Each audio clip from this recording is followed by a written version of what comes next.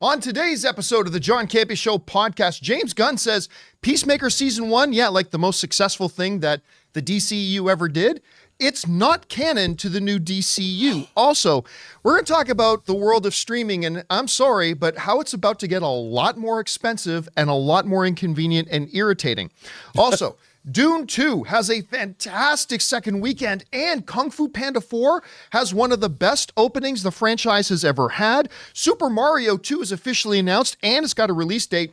And Oppenheimer dominated what was, honestly, the best Oscars broadcast in years. That and a whole bunch more. The John Campea Show podcast starts right now. It really was. It really was. It was a great Oscar show.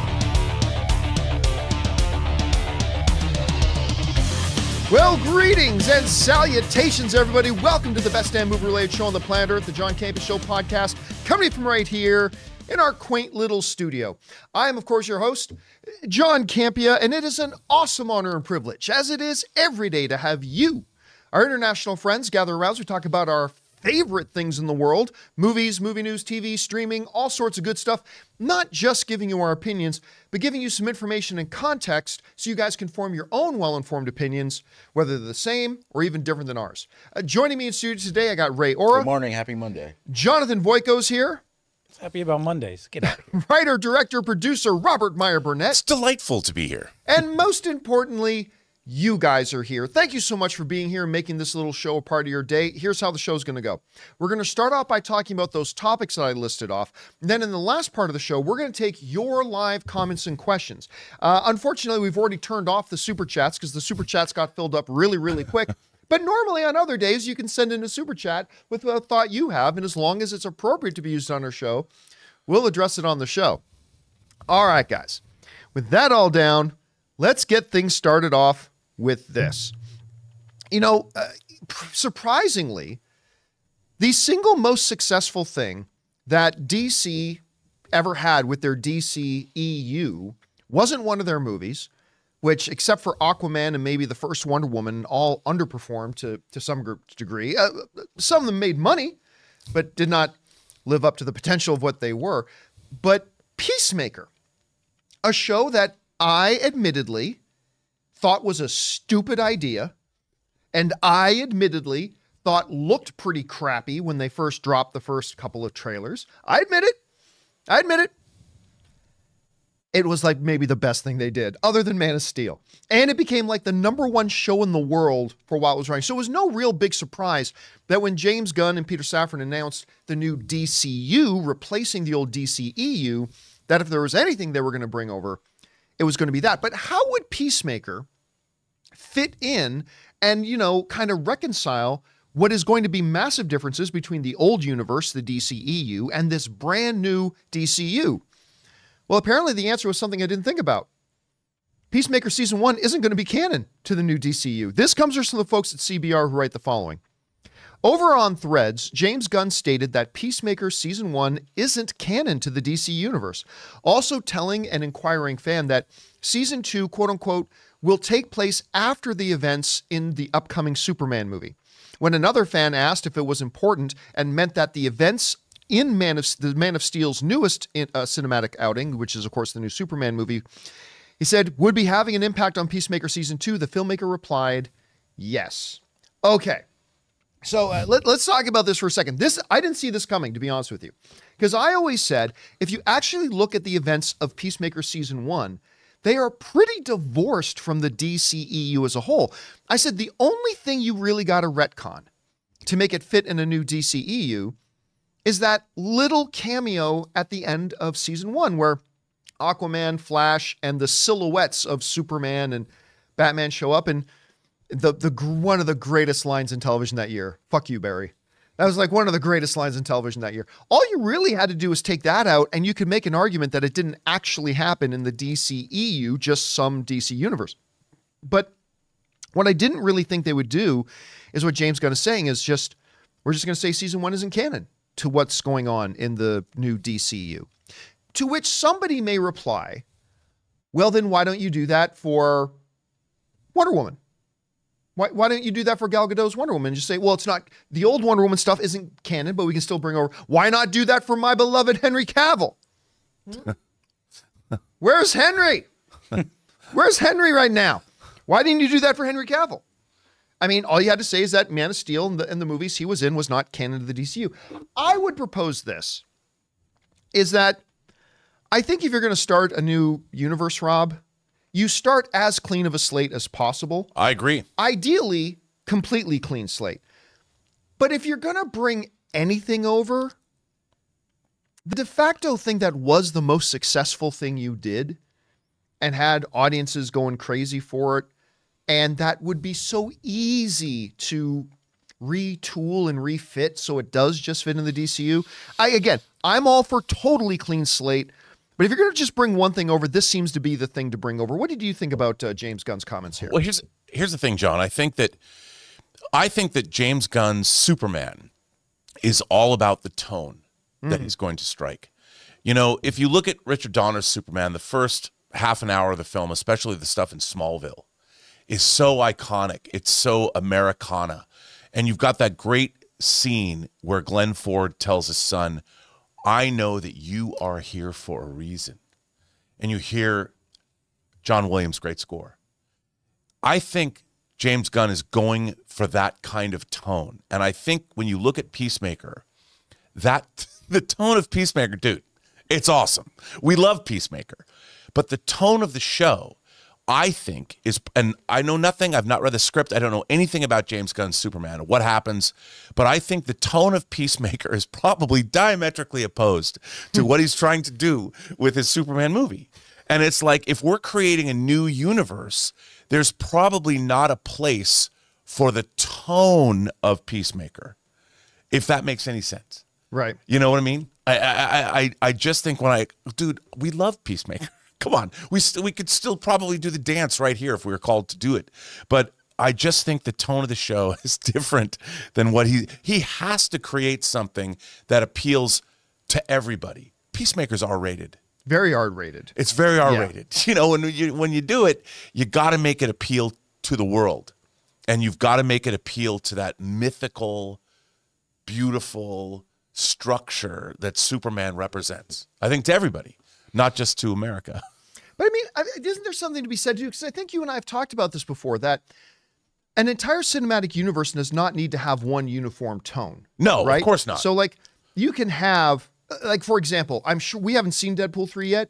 I'm sure it's going to be tonally very different than Winter Soldier. Like, I'm sure it's going to be ex- extremely different in tone. right? Like, completely different. So, Yes. I mean, maybe this this would be like right out of the gate a- good way for James Gunn to show like we are going to have a cohesive cinematic universe, but we're also going to have a wide variety of programming that with different tones and feels and, and levels. But you're right. I mean, the trick is going to be how do you make them then mesh, right? Yeah, and, and the thing is, if Peacemaker was canon, that tethers what Superman in. in I, I totally true, agree with yeah. you. You know, You're there, there, it, it- there's something there that they're people are going to expect. And look, Penguin has its own the Batman universe. Yeah. and this is something it has to be. I think. It has to be fresh. It has to be new. It has to be clean and clear of all baggage because they're doing something new. And if they were, if, if there's some anchor to the past, I don't think they could be as successful doing what they're doing. I agree. So the question is for you guys, what do you think? James Gunn has said actually, you know, season one of Peacemaker, probably the most successful thing they had in the DCU, is not going to be canon here. So it's kind of a clean slate even for Peacemaker. What do you think about that? What do you think the implications of that are going to be? Whatever you guys think, jump down into the comments section below and let us know your thoughts. All right, guys. With that down, let's jump into this, shall we?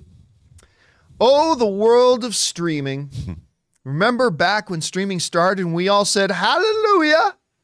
We can cut the cord, get rid of cable, because streaming is going to be so much better and so much cheaper. And then there were some naysayers at the time who said, just you wait. This streaming thing, you guys, you kiddies are getting all excited about, it's going to end up being more convoluted and more expensive than what cable is. And people like me at the time were going, nah, you're just being salty because the new thing is here, the age of streaming is here. Turns out those people were right. And we did we've done it a couple times here where we added up the various streaming propositions out there. And if you do, you are paying now more for your television entertainment than we ever were before with cable. Now there were benefits that we had, right? No ads. Watch when you want subscribe to something, you got access to the whole playground. Like there were advantages. But slowly but surely, we've been seeing those advantages disappear as prices for streaming has continued to go up and up and up and up. And I'm here to deliver an inconvenient truth from the high mountain. It's about to get a lot worse. It's about to get a lot worse. We're going to break down how. Now, I, I want to mention this uh, in the upfront because there's a great video on YouTube uh, that was put up in the last week or so by Digital Trends that talks about this very thing. And I highly recommend you go check this out. But some friends of mine and I were talking kind of about this. And then I saw this video and I thought, you know, we should we should talk about this in general because I was just having a discussion about this and how I think the rates are about to go up. But let's jump into the classroom for a second, shall we? And and let's look at first of all where streaming has been, right? For the longest time we had the the model, right? We had the the regular TV model, and then along comes streaming. Fabulous. We all liked it. Netflix got started going. They started digitally delivering their DVDs to you over the internets instead of a physical disc showing up. Then around 2013, the streamers started to produce their own original content. I remember, and I don't know if we can get me in the shot there, Jonathan, but I, I remember um, when I first saw a billboard for House of Cards and thinking, oh my God, like Netflix is making a show? Like they're yeah. not just going to be showing, they're making a show. And I remember the comment from the head of Netflix at the time saying, we got to become HBO before HBO becomes us. And they were right. So, uh, and then Hulu came along and they they had one or two things first, but they came out with the um, uh, I almost call the bridesmaid, uh, not the bridesmaid, the Elisabeth Moss show. Handmaid. Handmaid's Tale. Handmaid's Tale. And then all of a sudden they started making great content. Well, then we went from producers creating their own content, and then the pandemic happens. And there's this huge growth in streaming that comes as a result. Now, as it turns out, though, that huge growth was a little bit of a mirage because while everybody stayed at home, and oh, so all these streaming numbers started to explode. The streamers started thinking this was a river of gold that would never stop flowing. And so they started doubling down on how much content they were producing, the expense, the money they were putting into everything, thinking this is a train, this is a party train that is never going to come into station. We're going to ride this thing forever. We're going to make all the money and all that kind of stuff. Well, what started happening was they started realizing that oh, it does run out. The growth does slow down. And so we started seeing things like ads and ad tiers. And even now, today, when you look at, you know, uh, not just the ads and the ad tiers, but now not only are the streamers adding tiers of ads, now, the actual platforms we use to access those streaming services that have ads have ads themselves. I opened up my Chrome, my Google TV Chromecast, right? Now I'm not in Netflix yet. I'm not in Hulu yet. I'm not in Disney Plus. I'm not on YouTube. I just opened up my my Google TV Chromecast, right? And what should be at the top which is normally put a carousel of like big shows and movies you can access right now. No, the first thing I see when I open up is an ad for the new Kia EV9, a fabulous looking car, by the way, but it had nothing to do with streaming or chicken tender wraps or something. So now we've gone from this, you know, utopia, this this wondrous world. Uh, what do we got on screen there? We got this wondrous world of you know, ad free, get what you want, when you want, all this kind of stuff to now there's ads, ad tiers. They're overpricing non ad tiers things to try to, you know, shuffle us into the ad thing. Now the platforms themselves, Roku, Google, Apple TV, they're actually now putting up ads for products they want us to buy. And it's just gotten worse and worse and worse. But guys, I'm here to tell you three different ways that just when you think it's gotten as bad as it's going to get, and all that we have to worry about is raising monthly prices, I'm here to talk about three other things that are about to really jab us in the ass, on top of the increasing prices month to month. So, what comes next? Well, here's what's coming next, guys. First up, sign up fees. I'm telling you, these are coming. Right now, if you want to sign up for Disney Plus, they just say, thank you. That'll be 15, 17, 18 dollars a month, wh- whatever their monthly fee is. They should say thank you, open the door, say welcome in. Uh, now you start paying your monthly subscription fee. But I'll tell you what's coming. A one-time $30 sign-up fee. You don't believe me? Look at every other industry. It's coming. And it's also going to be one of their safeguards because what's the biggest enemy to streaming services right now? Churn. People sign up to Disney Plus, watch the newest season of Mandalorian, unsubscribe. And then when maybe, uh, I don't know, The Acolyte comes out, okay, we'll sign back up. And then as soon as The Acolyte's done, unsubscribe. That's their number one thing. So a sign up fee to get them a little extra cheddar of people coming in the door and as a safeguard to protect them from people unsubscribing to just sign up again in a month or two. And if they do do that, we're going to ding you again for that sign up fee. Isn't it great? Now, they might be charitable and say, you know what? If you're a first timer signing up, we waive the subs- we re- waive the sign up fee. We waive the sign up fee if you're a first time subscriber.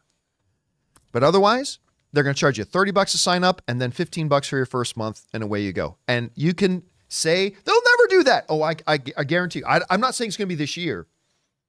Might not even be before Superman, but 2026, 2027, I guarantee you that's coming. Hmm. That, my friends, is coming. And it's not the only thing that's coming. The next thing that's coming is something that's a very, very weird kind of model. Here it is credits. See, right now, when you sign up for a streaming service, it's an open playground. Welcome to Netflix. Come on in. Our world is yours. Everything the light touches, you can come in and watch for your little monthly fee. Isn't that great? Well, that ain't going to last because the credit system is coming. What's the credit system? Uh, Jonathan brought up a good point to me a little bit earlier about here's an example of a credit system uh, Audible.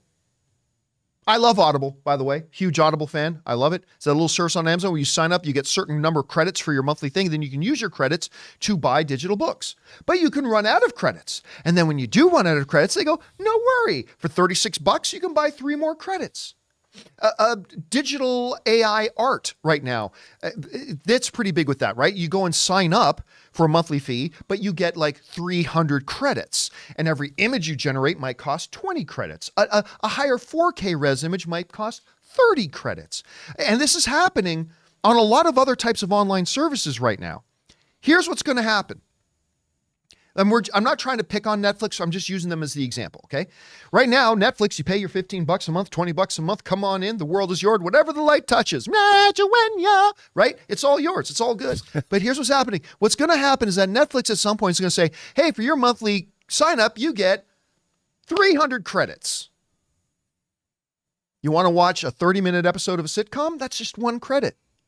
You want to watch an, ep- an hour long episode of a drama? That's two credits. You want to watch a movie? That's four credits. And 300 credits is plenty, everybody. It's mm-hmm. plenty. That's what they're going to tell you. I say, oh, you ran out of credits and it's only the 23rd? You still got another week and you still want to use Netflix? No worry.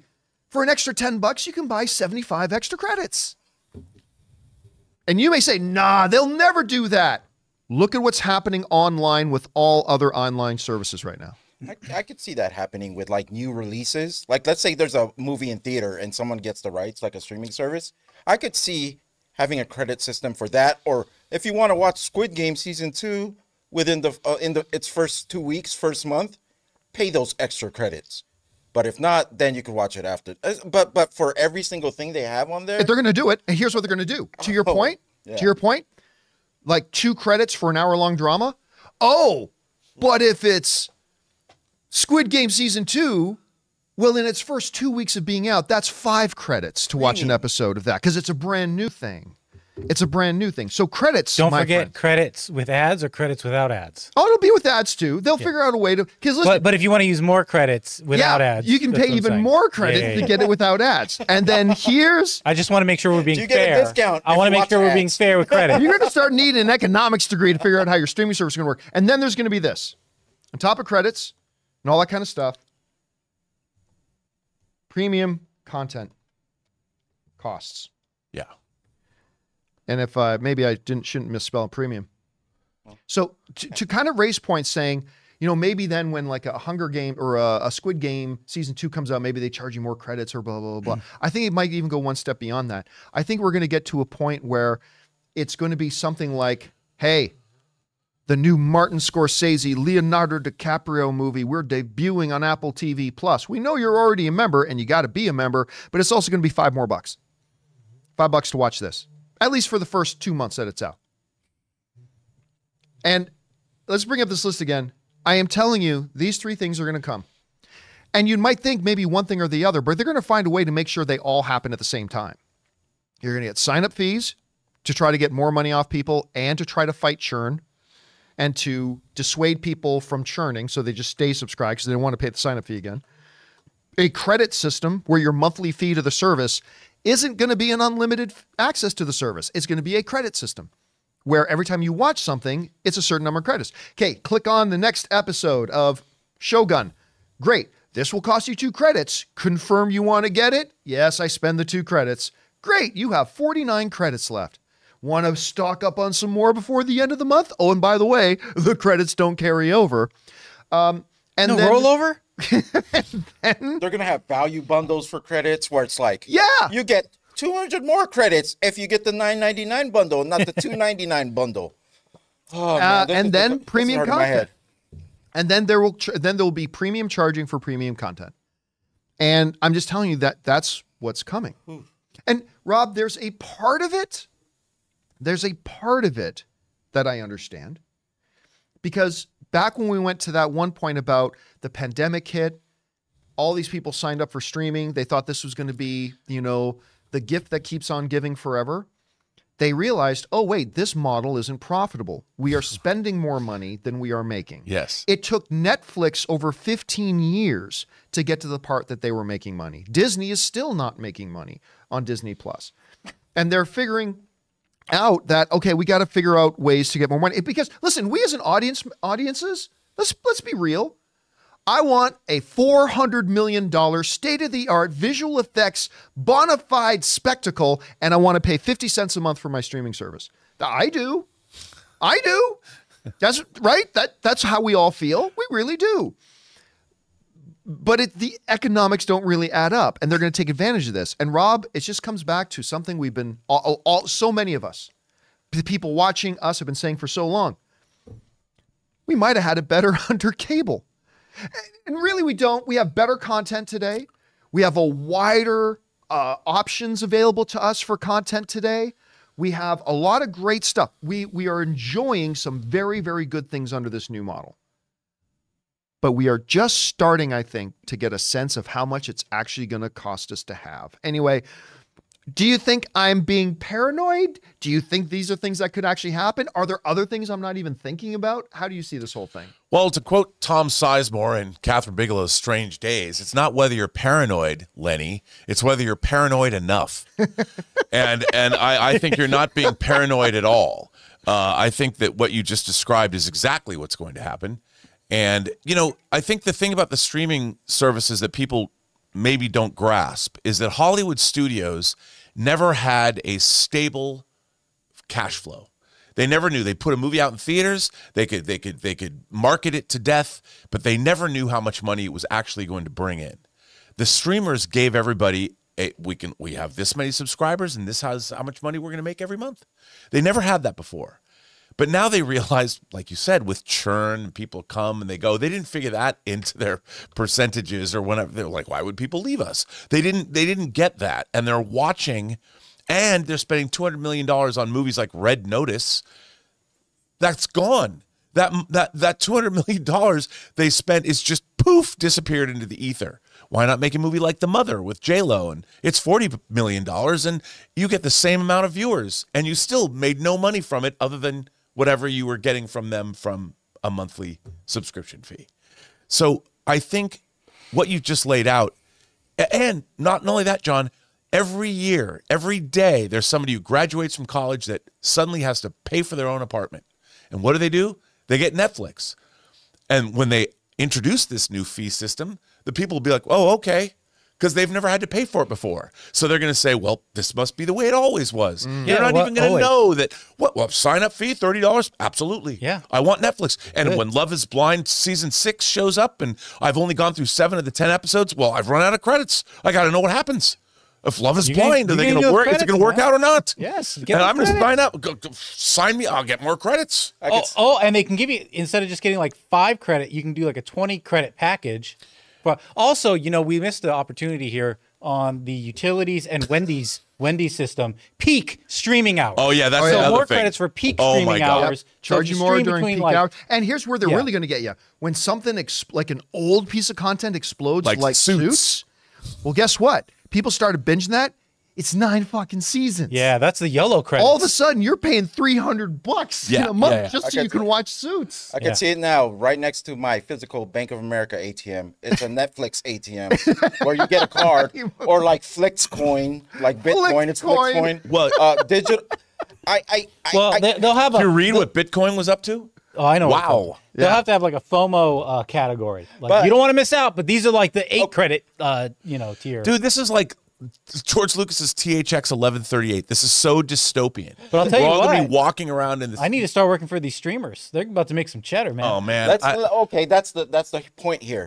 if, if this does come in fruition, fruition, um, the the the response from actual people who are paying this, like, wh- what's gonna happen? Because me, I'm like, oh, I'll I'll go back to cable. Here's the problem: it'll be gone. cable's disappearing. Uh, Yeah. well, well, you know what? Because here, here's the thing. Here's the thing. Are you not going to watch Shogun? Are you not going to watch Stranger Things? Are you not going to watch House of the Dragon? Are you not going to watch Last of Us? Are you not going to watch Star Trek? Are you not going to watch, Well, you know, I'll the new yeah. the new Mandalorian? Are you uh, not? That's the thing, right? Because those yeah. things aren't on cable. But everyone knows a fool who'll be paying for this, and I know my fool. Dude, Well, that's me. front of you. I'm your fool.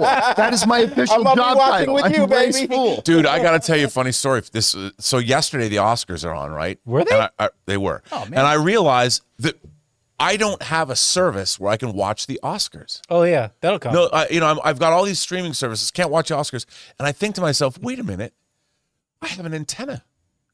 I never hooked up the antenna to the TV. Free over the air stuff is And still I'm there. like, yo, there it is. Only the 50 mile Oscars. radius. And beautiful I- I- 480p. I, felt like I was a, a, a like uh I felt like I was a, a luddite from 25,000 years ago. Here I am, Rob Korg, 23,000 BC, hooking up his antenna.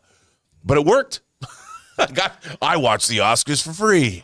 All right, listen, guys. We could we could honestly, this is a topic we could talk about all day, but we're, we're gonna have to move on. But the question is for you: What do you think? Do you are you one of these adorable people that you think this is as expensive as it gets? Do you, you do, do you are you one of these adorable people who don't actually think the streamers are going to find ways to get more money for us and make it more difficult for us? Because what are our options? I'd love. To, I listen, and, and facetiousness aside, I'd love to hear your rationale. I honestly really would. Maybe it could change my mind. But anyway, whatever you guys think, jump down into the comment section below and leave your thoughts there. All right, guys. With that down, let's move on to this, shall we? It is now the second age, or their second weekend, at the box office for Dune 2, the best movie I've seen in probably over a decade. Uh, my wife Anne has now seen it four times in theaters. Uh, I've seen it three. She's already bought our tickets for her fifth screen. a lot of credits. Uh, that's a lot of credits. that's a lot of credits before it comes to Max.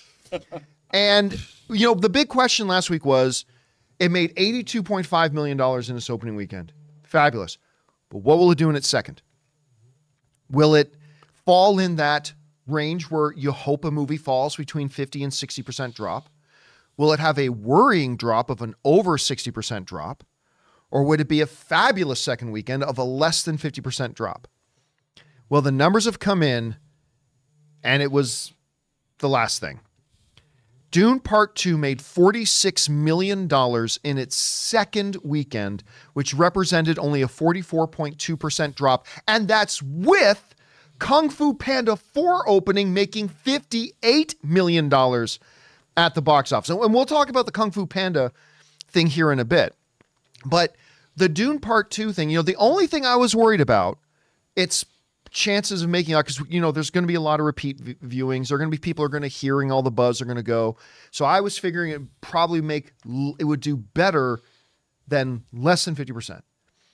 But I was thinking 49, 48, like 44.2 percent drop, which is incredible. So good for it. $46 million. Its second weekend is bigger than Dune 1's opening weekend. So just put that uh, into a little bit, and there's asterisks to that, absolutely, but just to put it a little bit in context. So, but my only other worry was I didn't know if a lot of people would go see Kung Fu Panda, but it's a very family friendly film, and maybe some adults who would have gone to see Dune or maybe gone to see Dune a second time, they're to like, nah, I'm to bring the kiddos to the movies or something like that. And when I saw the numbers that Kung Fu Panda were racking up, I was like, okay, well, this isn't to be good for Dune. Still only took a 44% drop, making $46 million couldn't be better. Uh, so happy for it, and that's wonderful. Is that but, a real mo- emoji? Did you it's the real that? ones. Yeah. But let's talk for a second too about the success of Kung Fu Panda 4. This is a franchise that is now 16 years old. It's been 16 years. Want to feel old? 16 years since Kung Fu Panda 1 came out back in 2008, if, if I'm remembering that correctly. Yep, 2008. 2008. 16 years. No Kung Fu Panda movies ever like had a huge box, and I honestly didn't know. But Kung Fu Panda 4, after declining box offices for the Kung Fu Panda franchise, made the second most ever in its opening weekend. Take a look at this. Look at this image here. So the first Kung Fu Panda came out and it made $60 million opening weekend. Fabulous. the second one came out, which is also terrific. The second Kung Fu Panda movie, I think, is terrific, but made less on its opening weekend than the previous one did, but still made $47.6 million. Then the third one came out. I admit I'm not a huge fan of the third one, to be honest, but its opening weekend dropped even more to 41.2. Who would have thought the fourth one, years later, long after what some people said was a franchise that was past its shelf life. While Dune 2 is in theaters and made $58.3 million. I listen, I honestly can't remember the last time a franchise like this, which was showing decline, right? While it was still running, showing decline, decline, decline, and then all of a sudden a fourth one comes out and boom, almost as big of an opening weekend as the original uh, back in 2008. This is huge for them. And it just kind of boistered by the fact that the early reactions were very positive. The audience's reaction to the movie has been very positive. Word of mouth has been good and good for them. But the biggest winner is just the box office in general. Because yeah. just between Dune Part 2 and its second weekend and a 16 year old franchise in Kung Fu Panda 4, they made well over $100 million at the box office this weekend. Yeah, plus everything else. Yeah, plus everything else. Imaginary the cherry on 10. Top. You know, that. Bob Marley's One Love still hanging around in the top five, by the way, making another four million. But I mean, this is great for both Dune Part 2 and Kung Fu Panda 4. Rob, you saw the numbers. What are the things that stand out to you the most when you look at this? Well, if you're some if you're a college student and, and you're 20 years old in 2008 and you and your friends go see Kung Fu Panda, now you're 36. You're married. Your kids are five, six, seven. They're ready to go and you go and you go, hey kids, there was a movie that came out because think about it. If, mm-hmm. if it's four years between each yep. movie, that's a generation of kids. Yep. That's the difference between four and eight. So you've got an entire math. I, I know, right? That's an entire generation of children and parents that get to go share the awesomeness of Jack Black singing a Britney Spears song over the end credits together. And I think it's good. I mean, I think, you know, hit hit me baby one more time with the Kung Fu Panda franchise and it worked out. And you know, like you said John, the most important thing is all these movies are making money. Yeah. You know, even Angel Studios that made Sound of Freedom has their movie Cabrini that came out that was in the top yeah, five. made made seven, six, seven million dollars. And yep. and and Jason Blumhouse, ten million dollars for a not even very well received movie. No, a, a, movie that probably cost about that. Yep. So everybody won this weekend, including us, because we get great entertainment and your wife gets to see her favorite movie for the fifth time. By the way, it's it's officially replaced Big. Oh. No. Yep. She said she told me this weekend. She said Dune has officially replaced Big as her favorite. Does that mean you have to get another framed poster? She's dead to me. I oh yeah, I absolutely have to get her another one. We've already got a big we got in in our hallway leading to Anne's office in the house. She's got a big big poster and a big Dune poster. We might have to put up a second or third. Oh, actually she said Big has been dropped down to her number 3. Because Dune won? well, no, she considers Dune kind of one story. Guardians of the Galaxy. oh, nice.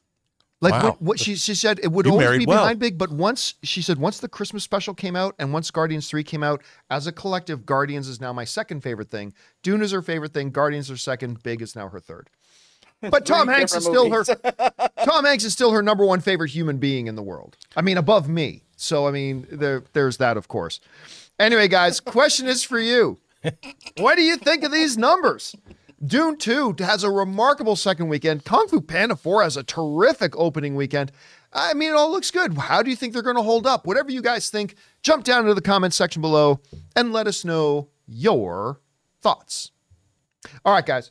With that down, we still got to talk about Super Mario 2 has officially been announced with a release date and probably the best Oscars I've seen in years happened last night. We're going to talk about that stuff and a few things more. But before we do, we're going to take a quick second and thank another sponsor of today's episode of the John Campea Show, our friends at Harry's.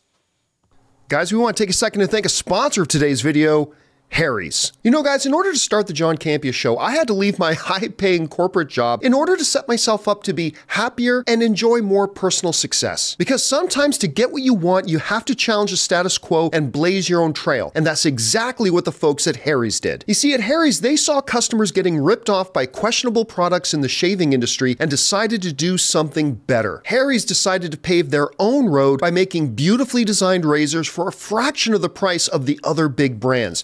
Exceptional products, honest prices. That's Harry's. I have fallen in love with Harry's from their foaming shaving gel that feels just luxurious on the skin to their incredible razor that feels just as good in the hand as it does going over your skin. They've got rich, lathering, skin softening body wash in scents like redwood, wylands, and stone. You see, Harry's provides German engineered blades made in their own factory that stay sharp longer. You can get a five blade razor, weighted handle, foaming shave gel, and a travel cover for just three bucks at harrys.com slash campea. Don't settle for the status quo. Blaze your own trail with Harry's. Get started with a $13 trial set for just $3 at harrys.com slash campea. That's harrys.com slash campea for a $3 trial set. And thank you to our friends at Harry's for sponsoring today's episode of the John Campea Show podcast. Look how smooth my face is. All right. With that down, guys, It's Like a butt. Some on someone's butt. Smooth as someone's butt. every day. this is my life, ladies and gentlemen. With that down, I keep you down. I keep you level. let's move on to this, shall we? The number one biggest film of last year, of course, was Barbie, but the number two was this little movie that could. Hmm. Super Mario Brothers uh, broke the billion dollar barrier when not a lot of films are these days. Uh, Barbie obviously did, but Super Mario Brothers did as well. And it's kind of just been a countdown clock now. And when are they going to announce the second one? Well, that has now happened. This comes from the folks over at Variety who wrote the following. Illumination and Nintendo will join forces to produce a new animated film based on the world of Super Mario Brothers. The companies previously partnered on last year's The Super Mario Brothers movie, which grossed more than 1.3 billion and became the second highest grossing movie of 2023. It's unclear which fanciful characters the new film will focus on, be they plumbers, princesses, Koopas, or other residents of the Mushroom Kingdom. And the partners are not using the word sequel. However, the companies did specify that the movie will be released in theaters on April 3rd, 2026 in the US. So we are two years away from this. Like they just announced it, and this movie's going to come out in two years, which again, no duh. It made $1.3 billion. I mean, I remember No duh. I, I remember early on, I said, guys, look, you're not going to believe me, but I, I think Mario Brothers is going to be the biggest box office film of the year. Because, you know, when I'm seeing the reaction to the Mario Land and all that kind of stuff, of course, Barbie beat it. But even everybody who thought I was wrong never thought it was going to be. And you Barbie said that a beat it. year in advance. Yeah, but people, even the people who thought I would be wrong, and I was wrong. Barbie was the number one film of the year, but they never thought Barbie was going to be the film that beat it. Right? I mean, who would have thought a year and a half ago that the two biggest films of 2023 would be Barbie and Super Mario Brothers, and they'd both be in the billion dollar club? Not a lot of people, including me, if you wanted to add up both of them. So this comes along. We knew it was going to happen. Now, there's a lot of discussion going on right now that some people think that the next movie isn't even going to have Mario. Because again, as Variety pointed out, they didn't use the term sequel. And the guy from Nintendo specifically said, you know, we're going to expand this world of Mario even more. So some people interpreting that as being, oh, this is going to be a completely different movie, and it's not going to involve Mario himself, and it's going to be some other characters and, you know, all that kind of whatever. And I I get it. I don't think that's what they're doing. Let me be clear. I have no insider information on this. I'm just I'm just speaking as a fan like anybody else. I'm just speaking as a fan. I could be right, I could be wrong. I don't see them doing that. Like, yeah, maybe if you've done 3 Mario movies and you want to start doing movies based on other characters, but you've only done one. And there is no other character you have that is anywhere near as popular as Mario. So I think it will do what they said. They're going to expand the world. I think we're going to meet more characters. I think we're going to see more areas, more lands, maybe that we've seen portrayed in, in Nintendo and all that kind of stuff. I still think, though, at the end of the day, it's going to be Mario centric. And maybe someday they'll move beyond that. But again, Rob, this is a, a no brainer. Of course, you do a follow up. But the question is can it be as successful as the first one? And do you think the fact that they didn't use the word sequel and they say they're going to expand their world much, do you think that maybe means the next movie isn't going to be Mario centric? Do you think it will? I don't know. What do you think? Look, I think they have to make a sequel to Super Mario Brothers. I, I, I you've got your. It's like making a movie without your lead actor. You know that doesn't. It's a hard thing to do. And they've tried that a couple times. It and they have tried well. it a couple times. And here's the weird thing: in our AI world, they can digitize Chris uh, uh, Pratt's voice. You know, and and and I think this is even kind of. It seems to me that this is a negotiating tactic. They haven't gone to him. They don't know quite what they're going to do. When you've made a movie that makes a billion dollars, your stars, agents, and people get a taste of that. I'm sure he made a chunk of change, but I think they're they're hedging their bets right now because they probably are thinking, well, if you're going to make a Mario universe, but what do you do? Mario's always Mario's been the star since Donkey Kong back in It's true. 1980. I mean, you, you know, do, don't not to take away from that big ape, but it was Mario trying to get up those hills. You know, I mean, that's your star. You've got to you've got to lead with your star. I mean, dude, I could see a Talladega Nights meets Days of Thunder with Mario. You know, and do a whole Super Mario Kart racing movie. That'd be dope. I'd watch that. A whole circuit. Uh, yeah, it's a, whole thing. season of it. A whole yeah. se- I mean, I would watch that and, and imagine all the the cameos for the other racers. They probably just don't know what they're going to do. They have so many opportunities. There's so much richness from that world. Now I see, I could see how they would expand to other things like Luigi's Man- Haunted Mansion. Very popular game. Yep. Luigi is the secondary character to Mario. It Would be very. I, I just don't think you do that. Yeah, I mean, look, Donkey Kong can have his own movie. Luigi's Haunted Mansion can have his own movie. I think there are a couple of other characters, but again, I think those are things you expand out to after you've done a couple of things with Mario there to anchor everything. Um, but again, we might be wrong. I, I mean, they very well could announce three months from now, or maybe they come out at CinemaCon and, and say the next movie is oh Pedro Pascal as Wario. I could see it, but they're going to come out and say Donkey Kong coming in 2026. That's what the next. I mean, maybe they do. I I'll just be surprised if they do. I, I think you got to stick with Mario right now, and we'll see where they go with that. Question is for you guys. What do you think about this? They've announced, finally, they've made it official. The next movie's going to be coming out. It's only two years away till it hits theaters. Do you think they will remain Mario centric like we kind of think they will? Or could it be the other option? Maybe they're going to do a Luigi's Haunted Mansion or a Kong movie or, or a Princess Peach solo movie. I don't know. Whatever you guys think, jump down into the comment section below and let us know your thoughts. All right, guys. With that down, let's move on to this, shall we? Last night was the Oscars. Now, I, I've said for a very long time the Oscars are my second favorite day of the year. The only day of the year that is more favorite of mine is Christmas Day. Christmas is very special to me. But other than that, more than my birthday, more than anything else, Oscars Day is my favorite because I'm such a huge movie guy. I love the celebration of the Oscars. However, many times over the last number of years, I've come away from the Oscars while still loving the results and having some questions about some of the results, kind of disappointed with the show overall. And and I usually uh, some have been better than others, but I usually come out with a big long laundry list after the Oscars about what the Oscars needs to do to be better. You know, that's what I've done the last five, six, seven years. But I got to tell you, last night's Oscars, while I was a little bit nervous, you know, they had Jimmy Kimmel doing it. He, he's, you know, he's got experience doing it. I'm really more of a person that I believe a movie person should be hosting the Oscars. I've been saying that forever, all that kind of stuff. I'll tell you what, from the first opening montage they brought up That was really good. before Kimmel came out walking on stage, uh, highlighting the movies of the year and stuff like that, I thought this feels good. Look, I'll just cut to the chase. This was the best Oscar broadcast in years. It was the first time in a long time that the Oscars ended, and results aside, I just went, I really enjoyed watching this. Um, I mean, I thought a couple of categories got really wrong, but th- that aside, I thought overall the flow of the show was incredible, right? Um, oh yeah, Ann- this was Anne's favorite part the uh, the tequila shot thing Oh, Yeah. right? And just goes, "Oh my god!" I like like it's just like the whole tequila shot thing was great.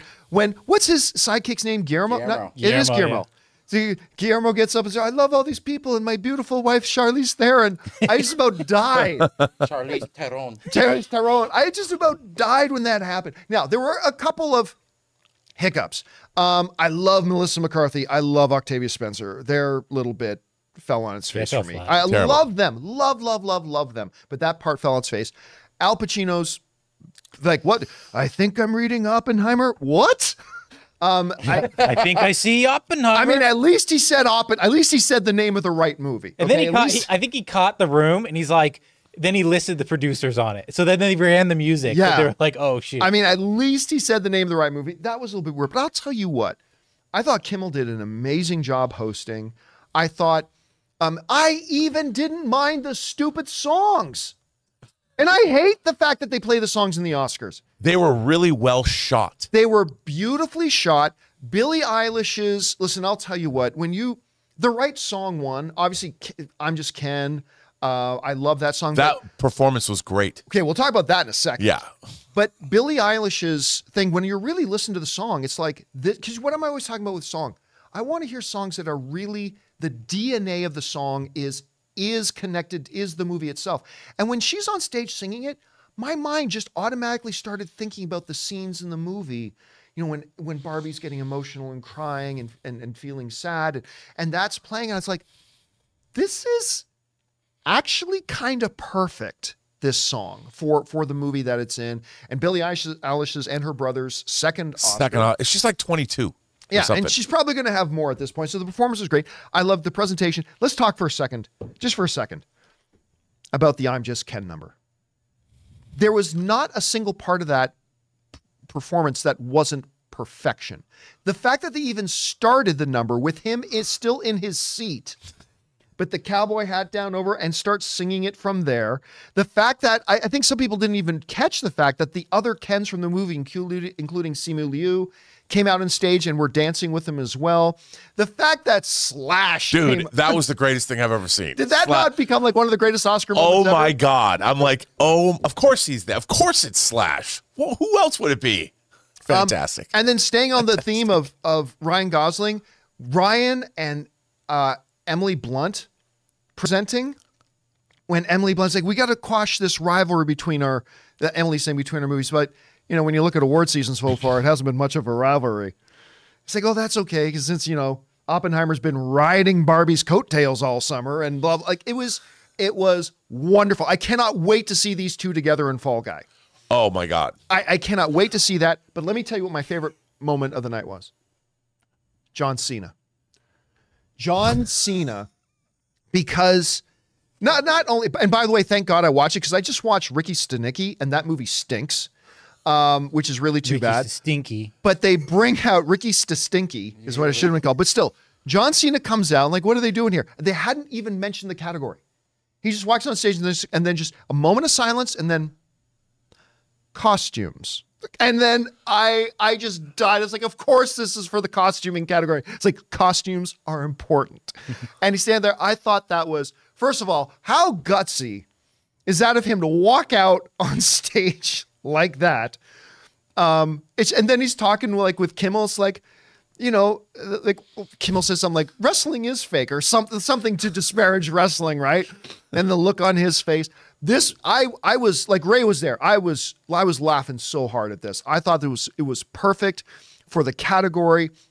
It was great. And then I'm always saying make the Oscar shorter, make the Oscar shorter. And then they did something this year that made it longer, which was for all the acting categories, they had last year's winner and four other previous winners come out, do a little monologue about each of the Loved it. the, the nominee. Loved it. Even though it took more time, it was perfect. It, it made just getting nominated a really, truly important thing. Having an Oscar winner on stage spouting platitudes about each one of the people being nominated. I thought it was fantastic. And every time the five legends would come out on stage, I thought that worked incredibly well. The flow of the show was incredible. It never stopped. It never slowed down. The Melissa McCarthy bit, unfortunately, whatever. And again, I want to see her do more. They tried hard though. They- they tried, tried to make hard. that work. but the the um, preparedness of the production, how everything went off without a hitch, how everything just flowed so perfectly, and by the time it was three hours, I was wait what? We're we're down to the last two. They said next best actress and best picture. I'm like really, really? We're we're that fast through it. Um, so you know what? We'll get to the results in a second. But Rob, just talking just basically about the show itself. I was, for the first time in forever, extremely pleased with the show. How did you feel about it? I'm with you. I mean, I think this was maybe the most important Oscars that has happened in years, if not decades. Totally agree. Because you you're coming out of the pandemic, you're coming out of a of a movie season, yeah, and you had the Barbenheimer thing. People like movies, and I think that there was there's been an attitude brewing because of social media and things. I mean, everyone's been too.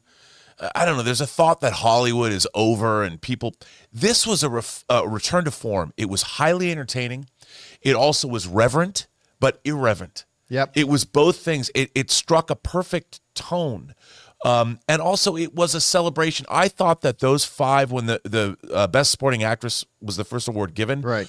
When those five actresses, including Jamie Lee Curtis and Lupita Nyong'o, they all showed up.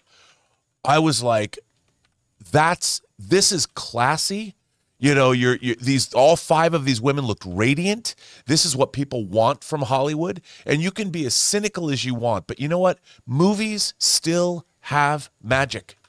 And this show celebrated that, but at the same time it took the piss. It could still be funny. Like that Yeah. John Cena bit was hilarious. Yeah. I mean, it was hilarious. Oh, and how many shots did they take at Madame Web? Oh, my god. I had like Uh, two, mean- three. They they were pretty they were pretty savage on Madame Web. I, I thought it struck the perfect tone. And you know what? At the end of the day, it celebrated the movies. We all love movies. Sometimes we need to be reminded movies are still the greatest form of entertainment I think that we have. And this was a, a, a really worthwhile show. And a lot of people who deserved to win won. and some didn't. But well, and some didn't. by the way, a couple other moments. DeVito and Schwarzenegger Mm-hmm. talking about how Batman killed them. And it's like he's right there, and they cut to Michael Keaton with his Dude, Batman stare. But How his stare, his stare was not like comedic. No, no, it was like he he went into character. He I looked thought he was gonna go up I'm on stage and beat kill you them. guys. Yeah. I that was wonderful. And I did love how the pairings were a not so subtle marketing ploy. Like Furiosa, Chris Hemsworth, and Mm-hmm. on Anya Anya Taylor-Joy. Taylor Joy. But we've been talking about how they should do that, right? Like Yeah. we talked, I remember a few months ago about how maybe the Oscars should take a little cue from the Game Awards and not just become one giant commercial, but do a little bit more to not Yeah. only are we celebrating the year that was, we're looking forward to the year of movies ahead. And so you brought out Ryan Gosling and Emily Blunt together for The Fall Guy. You brought out um, uh, you you just mentioned it, the Hemsworth Furiosa pair. you know, you know, they they did that, and I thought that was great. By the way, Schwarzenegger's little thing, that son of a bitch. Like I just like I just wanted to die when he did that. I thought that was incredible. Um, and and now so let's talk about the results.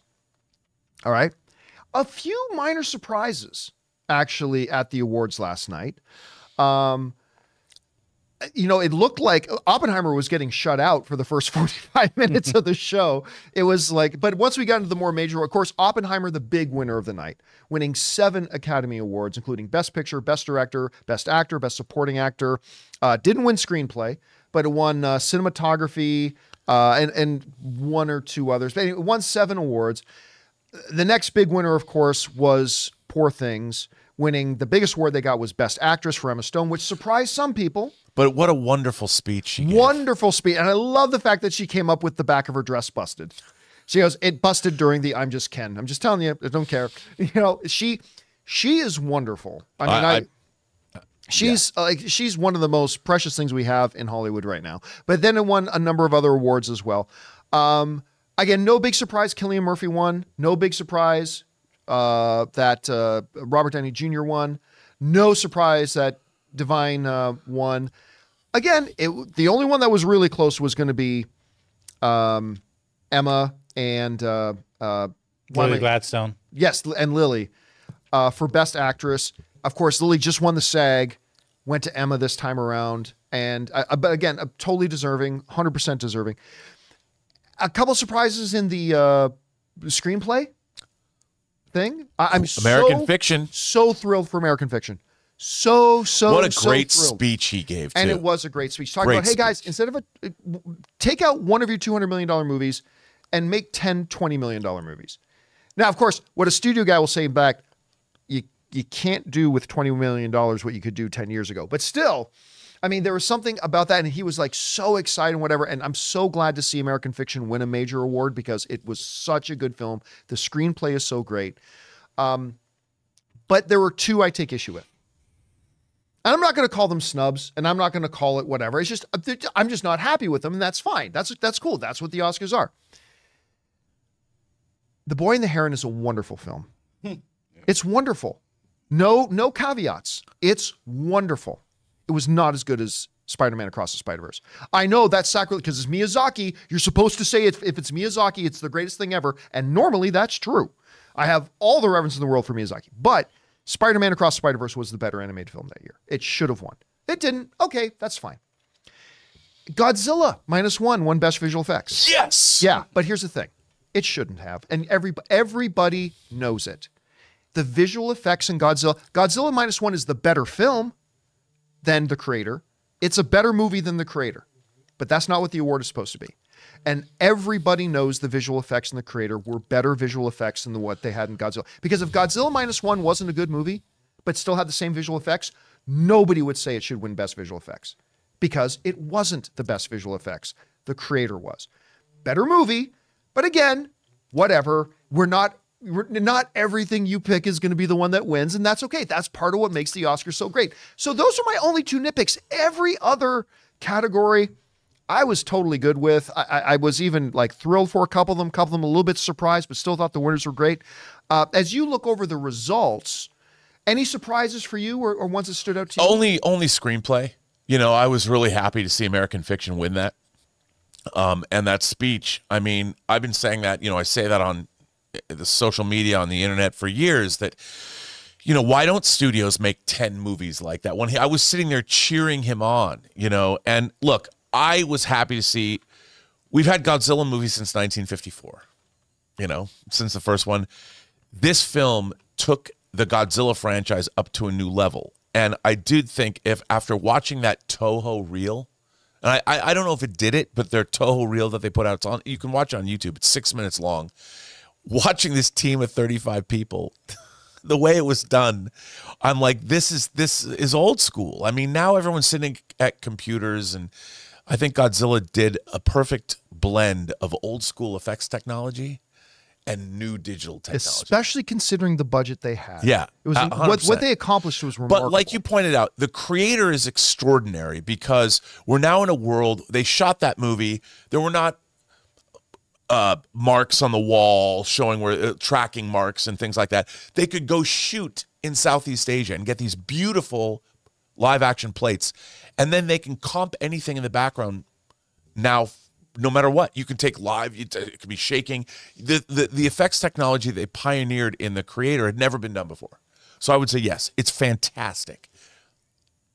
But as a kid You, I, I, I get. Listen, I get it. I get that people because it's the better movie. and the design of those shots was amazing Yeah, and listen, I, I I have no, I took no qualms that they that the visual effects branch of the Academy Awards gave a nomination to Godzilla. I had no issue with that. But then it, but then it's not the visual effects branch that votes on the winner, right? It's the whole Academy that votes on the winner. And I think, I, I honestly think it's just the fact that Godzilla minus one was such a crowd pleaser. It was the better movie overall than the Creator Sure. was. It was, and I understand that people were cheering for Godzilla because they love Godzilla. But I'm just asking people to be a little bit more objective. The visual effects in Creator were clearly superior, and it is what it is. But But, you- you, know what? It won. And, I, and by the way, how great was it when Godzilla minus one won it? And all those people from Toho came out. They had their Godzilla statue. Did you notice they were all wearing Godzilla themed shoes? All of them were wearing Godzilla themed shoes. It was one of the coolest on stage moments. They were like moments. filming it. They had like their cameras out. Oh my god, it was just, it was just so charming and such a great Oscar. But I think, thought. John, that was that sort of signified the entire broadcast. Yes, I, I felt for the very first time, you know, every everybody is so cynical about Hollywood and movies and people and celebrities and all that. This was finally a return to form. I felt like, wow, the thing that we love so much, movies, the thing that we celebrate. What do you say every morning? Movies and TV news that we love Yep. so much. This was finally a return. I love this show. I felt like I felt movies are back, baby. I this this thing that we've loved for our entire lives. Why did we let it? Why did we not love it? This just reminded us how great movies can be. I, I love the one joke. I I think it was Kimmel who made the joke, but first of all, how how great did Jodie Foster look last night? Oh, like eh, crazy good. But anyway, they first of all they brought up this really awesome fact. They said 40 years ago tonight, Robert De Niro and Jodie Foster were both nominated for Academy Awards for Taxi Driver. And then tonight, they're both nominated again. First of all, that fact blew my mind. But then Kimmel made one of the best jokes of the night when he went, Now, back then, Jodie was young enough to be Robert De Niro's daughter. Today, she's 20 she's 20 years too old to be his girlfriend. and I I Ann and I both just cracked when he said when he said that. Today, she's 20 years too old. Oh, oh, oh, and then the whole who was it? It was was it America Ferrera that was up with the who's the girl from Saturday Night Live? That's weird, Barbie. oh yeah, yeah. Yeah, Uh, it uh, wasn't. McKinnon. yeah, Kate, McKinnon, right? Yeah. Kate McKinnon get up and they're like, documentaries, this, this, this, Jurassic Park. Yeah. And then she's like, Oh, it's yeah. not a documentary. She goes, what are you talking about? She's, and and uh, what's his name isn't real. She goes, then who have I been sending all my tasteful Yeah, they cut to? the and cut. Spielberg. I mean, and I found I read afterwards that that wasn't scripted. Like Spielberg just saw that he went back up on screen, so he just went, and like he just rolled with it, right? But I mean, like the, it was just such a great job they did. And when's the last time we said that about an Oscar broadcast? Long enough, I can't even remember when we did. But full credit and kudos to those of you out there who produced the Oscars last night. You did a fucking great job. I, I, it, it, it has reignited in me my. Now I'm excited for the Oscars again next year. Um, and it's not because they picked the right winners. No, because you put on a great presentation. Yeah. For the first time, I think this might be the first time ever that I thought the Oscar presentation, the Oscar broadcast, was better than the Golden Globe broadcast. Yeah. Golden Globes are meaningless, but they always put on great shows, and I actually think the Oscars outdid them this year. I also felt that the industry coming off off of two strikes, everybody was. It felt like everybody was really supportive of one another, Oh yes, yeah, yeah. and and that was something that you could actually feel in Yeah. this broadcast. You can especially see it when the I uh, I'm just Ken Oh, You know that that's where everyone's standing up, and then Oh, yeah, Ryan Gosling even goes to Emma Stone, and she's singing the. She was singing it. Yeah. You Yeah. forget those two have been in a lot of movies together too. But like even like IATSE might be going on strike. I again. know. And I thought that was really good. Right at the beginning, Jimmy Kimmel brought out all the behind scenes people, all the IATSE people come out. By the way, let's talk talk about this for a second. Um, the dedication, the homage they did to stunt performers. I thought was wonderful when they did they did the big thing about stunts. Now I know there's still a lot of people that believe they should have a stunt category at the Oscars, but when they were doing, I want to know what you think because you and I haven't talked about this. I want to know what you think. When they were running the montage, the reel about why stunt work is so important and all that kind of stuff, it really drove home for me why you can't have a stunt category at the Oscars. And it's for two reasons. One, there's no other category where you would need the voters to actually be on set to see what's happening. And two, there is no way today that just a voter can look at a movie and tell what was CGI and what was a stunt. And it, it's just I that's why I I'm not saying I don't believe stunt work doesn't deserve to have an academy category. I think they should be honored every year. I think what they did last night they should do every I think year. they yeah, should keep doing that. But I don't think you can make a legitimate category of it because it's just impossible to actually vote on. I don't know, Rob. How do you feel about I that? agree 100% because, you know, you can only vote on what you have in the finished film. Right. And nowadays, you can't tell what stunts were done and how they were done because, like you just said, you're not on set. But what they did, like you said, Jonathan, they should do that every year and make it, you know, make it some kind of an honorary or yearly thing. But now, I'm sorry, in the digital age, there's no way that a, a, a movie, when you're watching it, because you're awarded based on what the finished film is, Yeah. not what it took to get there. Right. Not like You the, know? the stunt coordination, the planning, the the blocking it out. Like, how do you know? You don't know. And and there's no way that anybody watching a movie could ever make that decision. So every year, I think they should start every year at the Oscars, set aside a two and a half. And listen, you may say only two and a half minutes. Two and a half minutes is a big block at the Oscars. Yeah. Set aside a two and a half minute homage reel to the best in stunt work that year and really honor the stunt community every year because I, I just don't think you can do a category, but they deserve to be at the annual event that celebrates movies. You have to have a seat at the table for the stunt people who are such a big part of it. And if they can do that every year, I think that will make a lot of people happy. Um, anyway, guys, we could talk about the Oscars all day. Uh, it was just such an incredible night, and again, huge night for Oppenheimer, uh, winning all the Christopher Nolan finally winning his Best Director Academy Award. I mean, it shocked. I remember Ann said, "So how many does he have now?" I'm like, "C- counting tonight, yeah, one. it's like finally getting his Best Director uh, Oscar and uh, being so. I mean, yeah, so, like Killers of the Flower Moon got shut out. I think. I think was completely shut out. Uh, there were. I think Barbie got shut out, other than the song category, that was fine because the the night put such a big spotlight on Killers of the Flower Moon and on Barbie and just getting all those nominations. Oh, nominations. and we didn't we didn't mention that, but live performance that that performance from Killers of the Flower Moon was really cool. oh, that was really cool. It was awesome. That that then when they started doing it, I'm like, oh, tell me they're going to play this whole thing out, and they did. It's like, I, I, you know what it reminded me of? It reminded me of the um, uh, uh, the Indian film last year, Uh, oh, RRR. RRR, when they had the musical. First of all, I, I didn't like RRR. Oh my god, that musical number last year was so good. It was so And good. I love and, that one. You know, Robbie too. Robertson, who did the score for Killers of the Flower Moon, passed away. Yep.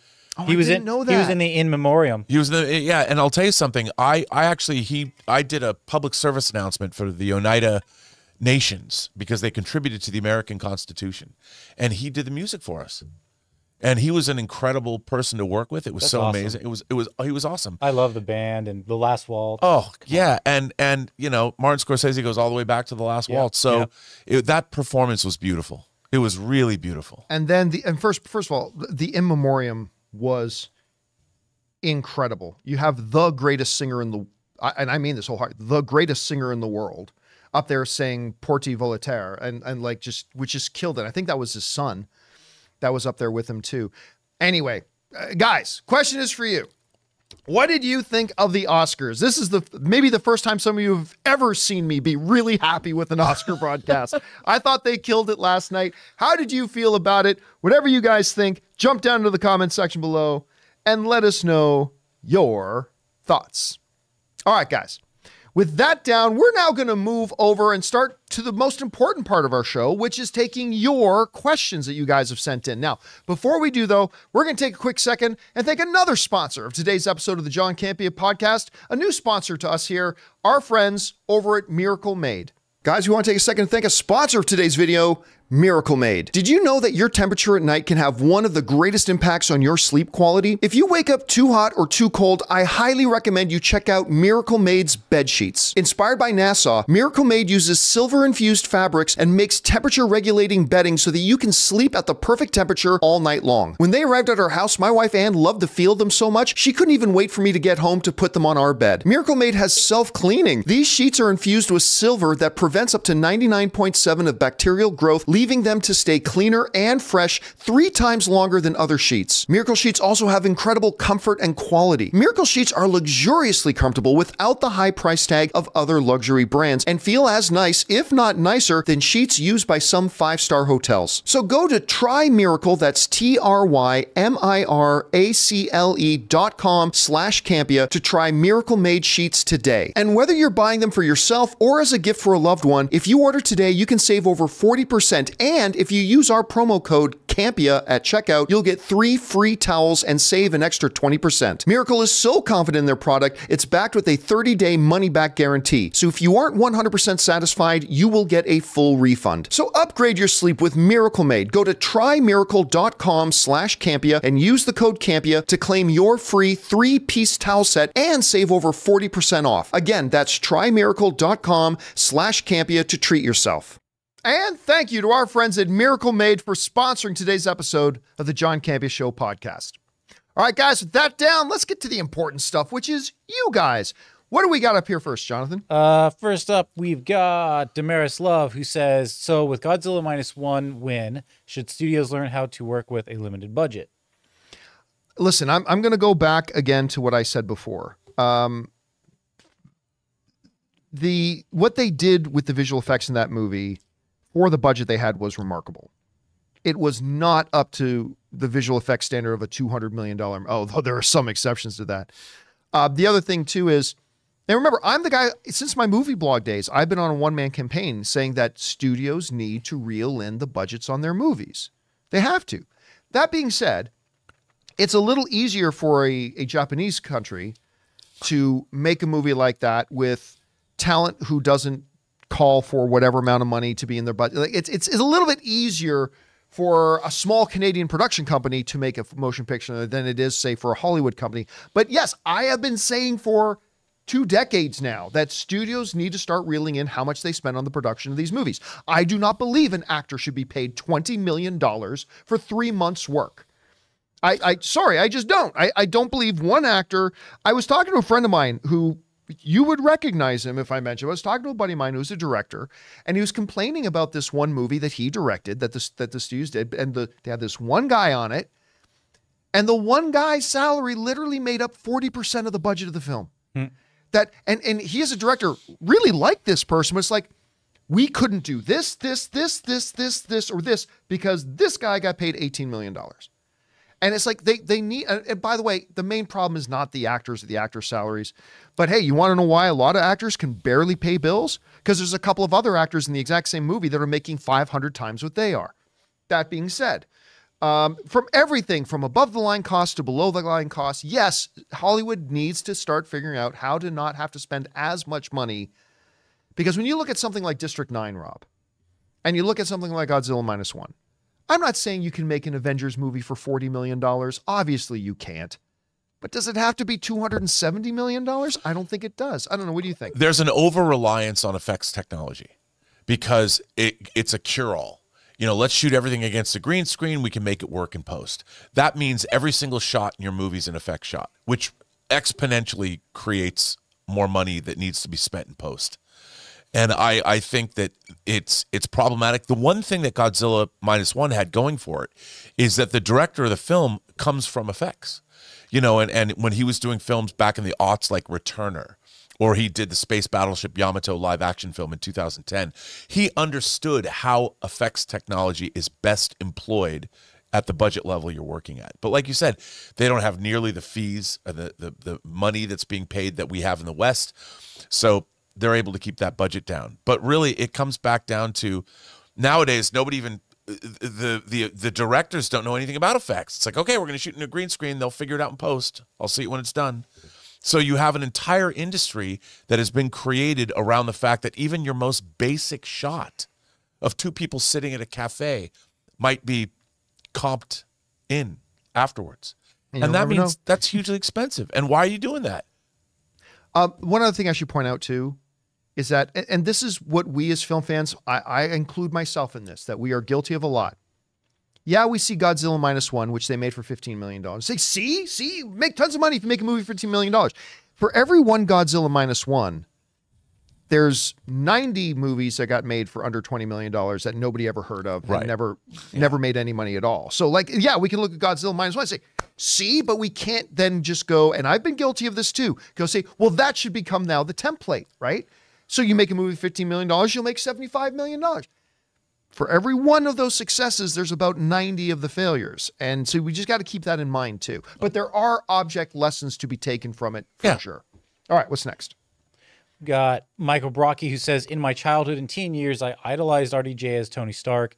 Now, as I'm aiming into this industry, uh, I see him win an Oscar. A part of me feels complete. I would say go back and watch Chaplin then. I was, I was going to say it's actually really more of a full circle moment for Robert Downey Jr. because he did not start as Tony Stark. And I get it. There's a lot of people, if you're under 30 right now, you probably just think of Robert Downey Jr. as Tony Stark because ever since you were in your teenage years, he was playing Tony Stark.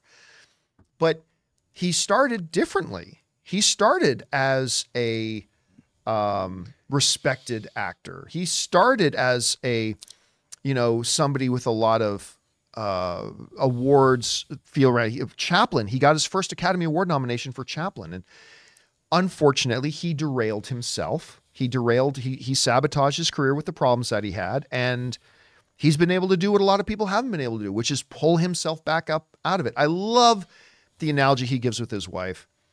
He said, "I'm the stray dog." He said, "She found me and she loved me back to life." I thought that was one of the most beautiful things. Plus, dude, go back to one of my favorite B movies. It does not get enough love. Oh, here we go. Turf. Tuff Turf from 1985, James directed Spader. by Children of the Corn director 4K. Fritz Kiersch, Kim Richards, whose sister became one of the housewives of Beverly Hills, Robert Downey Jr., James Spader, and Olivia Barash, and Kim Richards. Yes. All right, what's It was next? intense. Uh, Michael Brocky's back and says, I'd like to thank my ter- terrible childhood. Oh yeah, RDJ 2024. The- the- there. Listen, in all the there was some great excitement. Roberts was great. Da'Vine, wa- her speech was the fabulous. Uh, the the screenwriter for American Fiction, fabulous. Emma Stone's acceptance speech, fabulous. I mean, there was just a r- lot of really really good acceptance speeches. All right, what's next? Maximum Mustang or Maxim Maximus Mustang. All right. Okay, John, hear me out. Timothée Chalamet as Terry McGinnis and Keaton as old Bruce Wayne, and uh, the time could not be more perfect for Batman Beyond. Your thoughts? I think we know them. I think we know them. Timothée Chalamet would never lower himself to do that. Oh boy. Oh man, that by the way, that that's a great idea. I'm right there with our viewer. And on top of that, like he's uh, Timothée Chalamet is going to have every offer thrown at him for you know Oscar-winning films. So, uh, yeah, so that's not going to be a thing. Plus, uh, Ray, just double check with for me here. Uh, How old's Timothée Chalamet? Okay. He's he he ain't, he ain't a teenager. Oh yeah, but he Uh, can like play we, we often 28. 28. He's almost 30. Okay, so like we often refer to him as this kid's amazing, right? I know I use that terminology, but as Chris Carr reminded me yesterday, um, uh, Fisty McFucky, what's his name? ag- Terry McGinnis. Terry bro. McGinnis. Terry McGinnis is is supposed to be happening a high school student. And so let's say you did that. By the time they actually got around to being on set and shooting something, he'd literally be 30 years old. So Can you imagine the No. numbers he has in his phone? I can't even imagine. I have numbers in phone. By the way, I watched Wonka again because it's it's now on. Uh, it's I think it's Max that it's on now. I watched Wonka again. My God, that is such a delightful. Did that movie? Did that get to seven hundred million? I know it cracked six hundred million. I think it might have. I can't remember how close it got to Uh, it was seven. over six. It was like six. I know it was over six. It, the Wonka got well over six hundred million dollars. I mean, Six twenty-five. Six twenty-five. Okay, so it got over six hundred million. I, I mean, and he's so. it- It's just so weird watching him do Wonka, and then play Paul Atreides. I, I mean, if you want to know how good this guy is, but no. Listen, you guys will be lucky if you get an animated film. And I think it's possible. I think it is possible there could be an animated film. But uh, Another animated film. Because there was one before. did they do? Oh yeah, the Yeah. the the Return of the Joker, Yeah. right? Um, but yeah, I, but I mean, like a legit, ama- uh, Spider-Man into the Spider-Verse theatrical released movie, which they never had. I think there's a chance for that. Other than that, nope, nope, nope, nope, nope. Not gonna happen. Not gonna happen.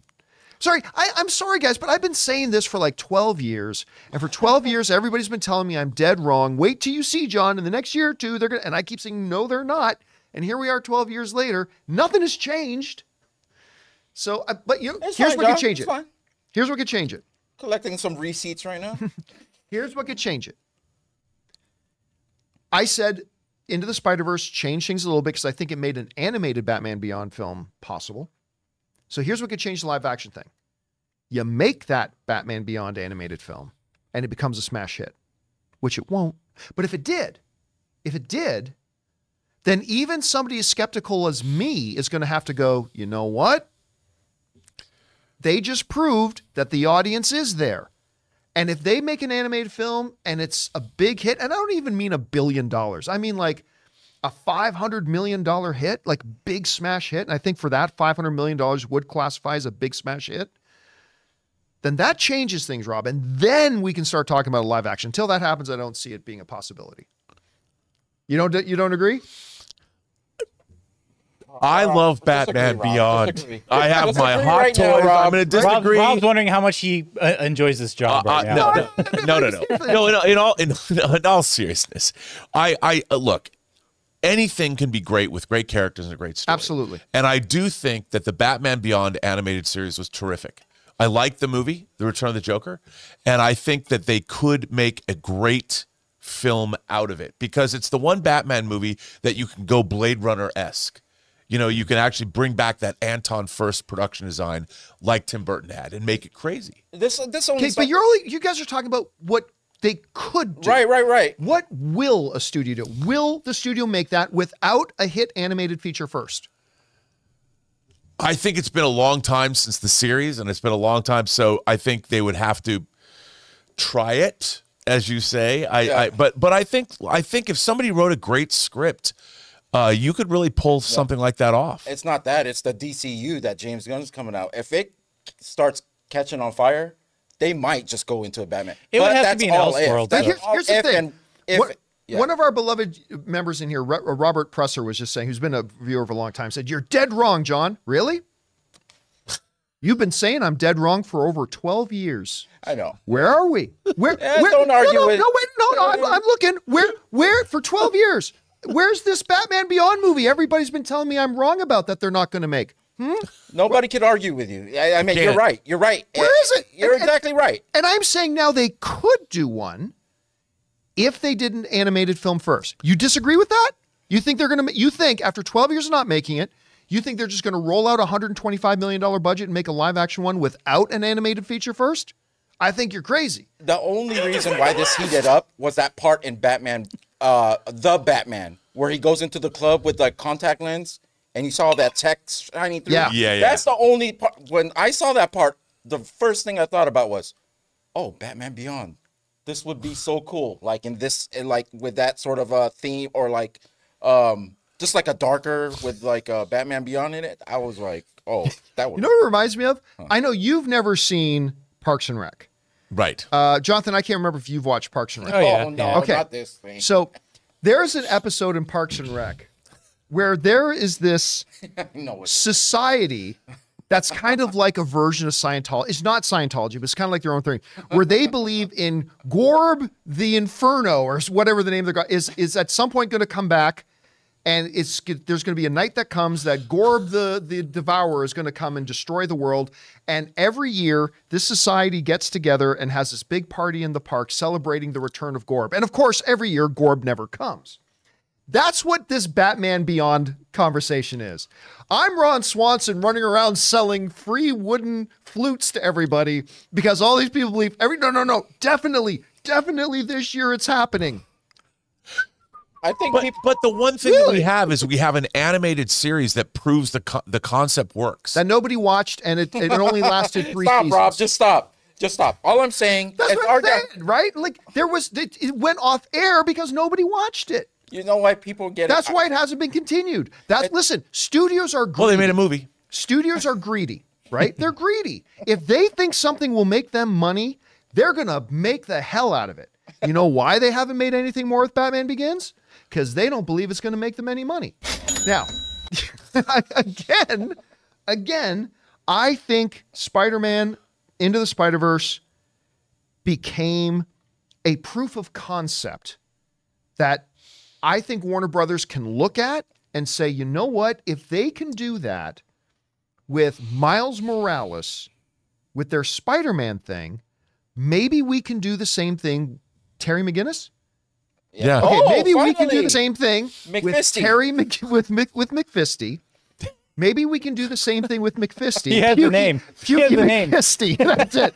That's who it was. Pukey McFisty. Maybe they can do the same thing with that. But Oh, someone in the but chat. Yeah. until that happens, and until that movie becomes a big hit, don't don't don't worry about wasting your time thinking about a live action because it ain't gonna It's happen. just that you're crushing people's dreams right now. Some I'm people. not. I, I'm just telling you reality. that's that's that's why For people over are a decade, like I've get so hot over. reality. Because everything you always say, there's it's possible, it's possible. But this one, you're like, nope, nope, never gonna happen. That's why people get so upset. I, again, I'm just saying. For 12 years, people have been telling me I'm wrong, And you've been right. Here we still and are. You've been right. So you If can sit on Christopher. Nolan went into Warner Brothers tomorrow and said, "I want to make a Batman Beyond movie," they would. Yes, they would. They would do it. So now tell me the odds that Christopher Nolan's going to walk into Warner Brothers and say, "You Zero. want to do a Batman?" There's zero. Yeah, The zero. zero. But it could happen. It could happen. In some all if we're living in a simulation, some people believe we are, we might be 5 levels or 10 levels down from base reality. Somebody might Man. rewrite the world and say Forget it, man. I don't want it anymore. Sure. Tomorrow. I don't want I don't even Can I just say anymore. that Maximum Mustang really got his money's worth on this one? All right, let's keep going. I What's don't want next? it anymore. Uh, Jay Loco. Moving right along. MCU Iron Man kill count. Iron Man 1, uh, 41 terrorists. Uh, I don't know these numbers. Iron Man 2. Oh, Iron Man 2, zero humans. Iron Man 3, 12 people. Age of Ultron, 33 with the Hulk. Uh, Infinity Saga, shit ton of Thanos crew.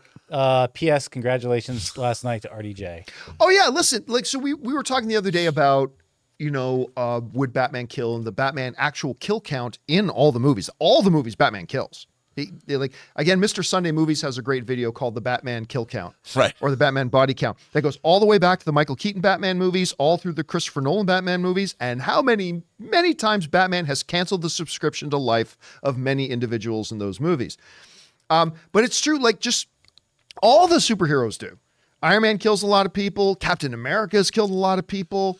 They they just all do, and not, not that they go out looking to murder anybody, but hey, it's sometimes in the process to stop evil. You might have to do something. I just want to point out that Robert Downey Jr. killed himself in the movie Less Than Zero back in 1987. Just saying. Just I- saying. That, You know- Throwing that out turning there. more. Tune into. Right. By the way, he's a he's great in that movie. Yeah, and just again, a quick reminder to everybody who's on the other side of it: Batman has absolutely killed in the comics. Absolutely has, hundred percent. All right, what's next? Sam Fisher, I don't know if this is a hot take or not, but How Do You Live is a better title than The Boy and the Heron. Uh, it's just a more interesting and dynamic title. But the boy and the heron is much more in line with the with the titling stuff out of uh, the whole Miyazaki camp, Yeah. right? When you really look at how they title, that is a very very Miyazaki title. So and a, and a Studio Ghibli kind of title. It, it's yeah, you can come up with something else, but that one fits the brand more, I, I think. Anyway, all right, what's next? Uh, we got uh, J- yeah Jamal Turney who says, John, what was the worst uh, the worst of uh, the Disney remakes to you? For me, it has to be Lion. They screwed the songs and removed the most important scene with Rafiki and Simba. I do give Favreau credit for Jungle Book. I 100% disagree. I actually, I don't care what anybody else says. I think the Lion King remake was wonderful. It was not as good as the original. It, it, it wasn't, but I thought it was wonderful. I remember me and Aaron Cummings went to go see it, and we were both practically in tears at certain points in the movie. I, I, I don't care what anybody else says. The movie's fantastic. It's the highest grossing animated film of all time. Joined the billion dollar club. all that kind of stuff. Not as good as the original. For me, I think it's Maleficent 2. Um, I the the Beauty and the Beast remake wasn't great, but it had its upside. Um, but both Maleficent movies, but particularly Maleficent 2, t- to me were just swings and misses. I still think the best one they ever did might have been Kenneth Branagh's Cinderella. Uh, the um, That was like Aladdin the one was- original one, which one? That was the first one. Yeah. Wasn't Cinderella Or the near first? first. No, I think they they did one or two before that. I think, Hmm. but I, I thought that was really good. I thought Aladdin was really delightful. Deli- Here's the thing to me, Rob. Aladdin is really to me the template of what their live action remake should be, which is staying true to the spirit of the original animated, but also making it its own thing. And like the Aladdin live action remake that Guy Ritchie directed, which I, I thought he did a killer job on that was very true to the original Aladdin, but at its own, it was it had its own identity at the same Yeah. time, and they did something real special. What would you say is maybe the weakest of the live action ones they've done? In terms of remakes, Yeah, that's a tough one. I don't, I don't know. I mean, I would say, I don't have something off the top of my head. M- Maleficent, though, I don't. I agree with you, but that's not a direct remake. You know, I, I think for the that's most true. part, yeah, that's a good Yeah. I point. think for the the most IP, part, but- they've done a pretty great job. Like, look, you and I both. I can't think of one I think is terrible. I don't think any one of them has been terrible. They've all had something I thought was respectable about them. Mm. Like, look, I thought it was a, a mistake to remake any of them, and I went and saw Cinderella, and I thought, like, why would I go see Cinderella? I was dragged to it. I'm like, ugh. When I saw it, I'm like, this is a wonderful movie, and Now, I think I was going to say a couple people just point out the Pinocchio one with Tom Hanks was not very good. Oh. Oh Um, yeah, did they? Oh, that's Robert Zemeckis too. Yeah, and Mulan, I I I still know think what? Mulan was a little bit better than Maleficent too, but Mulan wasn't wasn't great. I always forget about Pinocchio because it wasn't theatrically released. Oh yeah, I went straight to Disney But Plus. so I, I would th- hands down, it was Pinocchio, and it was even more. It was even more disappointing that it was Robert Zemeckis Yeah. doing it. Yeah. Okay. There you go. Pinocchio. All right, what's next? All right. Sam Fisher says, okay, I think I'm ready for Kimmel to retire as Oscar host. Unless there's a year where Matt Damon is nominated, then bring Kimmel back for feud hijinks. Did you guys see the post credit scene where they had The the, dog? dog? peeing on Matt Damon's star? The dog from uh um not Zone of Interest. Uh, follow. No. Uh, Anatomy, Anatomy of a Fall. Fall. No, the no, dog yeah. from Anatomy of a Fall peeing on the Matt Damon star on the Walk of Fame. He knew it was coming. Oh, it, it, it was great. Listen, I'll tell you what. When they announced Jimmy Kimmel, I thought, okay, it's it's it's a safe it's a safe pick, and maybe they kind of need. And his opening pick. monologue was very safe. and I prefer a movie for all that kind of stuff. I honestly thought Kimmel was great. I I, I really too. did. I thought Kimmel was really, really great. Um, I, I, I, again, I just, I'm just so impressed and shocked how much I like the Oscar broadcast last night. So you know what? At this point, I again, I prefer a movie personality to host the biggest night in the movies. But they announced Kimmel comes back again next year. I'll be, I'll, I'll be fine with it. I'll be fine with it. And who's gonna take that gig too? There's a lot of people who want don't want that. no, Oscars gig. because like after what people did to say like Kevin Hart, because remember they announced that Kevin Hart was going to host the, the Oscars, and then all of a sudden a whole bunch of people decided to Dig to up. go dig through t- Yeah. 20 years of social media point, posts and find something objectionable and then whatever. So it's like I think a lot of people at that point say, you know what, I don't want to be a target. I don't want to be a target for that. So I, I can get why a lot of people wouldn't even want the job, but uh, I thought Kimmel did really good. Now You gotta you gotta find someone with a sensibility like um, Billy Crystal, who's also in in the industry. If you're gonna go in in industry with that, Well, I mean, Billy Crystal was like the ultimate Oscar Yeah. host. I mean, he was Yeah. just great. By the way, too, somebody just mentioned in the live chat, how good was that John Mulaney bit? oh yeah, That John Mulaney bit the was Dreams. Field the Dreams really good. win. Field the Dreams. He was- although they'll was probably give it to good. one that came out this year. Is it weird that today, whenever John Mulaney speaks, all I hear is Spider Pig? That- yeah, that's kind of weird. Peter Porker. That's all. That's all I hear. because it was such a small part. I know, but that's all I hear. But he now. owned it. I guess yeah, he, he did own that role. Somebody in live chat is saying John Mulaney hosting next year. He'll never do it. You know why? Yeah. He's got too much stuff in his closet that he wouldn't people. want Yeah. people to complain which is, about. which sucks. You know what I Yeah. mean? It's kind of like we we ruin uh, opportunities to actually find a new great host. Yeah, we do. We really do. All right. Anyway, what's next? Uh, what is next? I think it's Matan here. Early 2025 Oscars predictions. Another hype sequel versus Return of a Master. Battle like Spider Verse versus Boy and the Heron with Dune versus Megalopolis. And Mulaney will call out the animation is for kids mentality as host. I think a lot of people are getting ahead of themselves with Megalopolis. I am too. I'm a little worried about it. I yeah, listen, you you are talking about one of the all-time greats, but who has not done this in a very, very, very, very long time. Um, and He sold this vineyard to pay for it. I, I, he did. That doesn't mean he's going to do any I'm good. afraid it's going to be a Ridley Scott effect. Yeah. is what I'm feeling. I, again, I haven't seen the thing. I haven't seen the thing for. I'm not saying I'm not hopeful. I'm just saying I think people are acting like Francis Ford Coppola has spent the last ten years making great films. He hasn't. no. And so I- I'm just, I'm not saying be doubtful. I'm not saying that at all. It's Francis Ford Coppola. I'm just saying let's not get ahead of ourselves uh, because I, It is my number one most eagerly awaited movie now that we've seen. for good Dune 2. reason. Yeah. I, but I bet you're not saying I'm betting it's going to be the number one best film of the year. No. Yeah, and, and maybe it will be. Maybe it will be, but we're going to have to see it first, I think. All right, what's next? Uh, um, Amin with a two-parter says, "What a show! One of the best, great winners overall. Some surprises, but all deserving, in my opinion. Love the way they presented the acting awards." And then he goes on to say, "I've never really teared up during the show, but last night I did it on a few occasions. I think they need to bring back the acting clips, though." You can't have the ledges come out and do full acting clips. Right. I mean, it's it's just it's just a time thing that disrupts the flow. I, I think you got to do one or the other. And I'll tell you what, I I had question marks because they said they were going to do this, and I had question marks about whether it would flow. It flowed.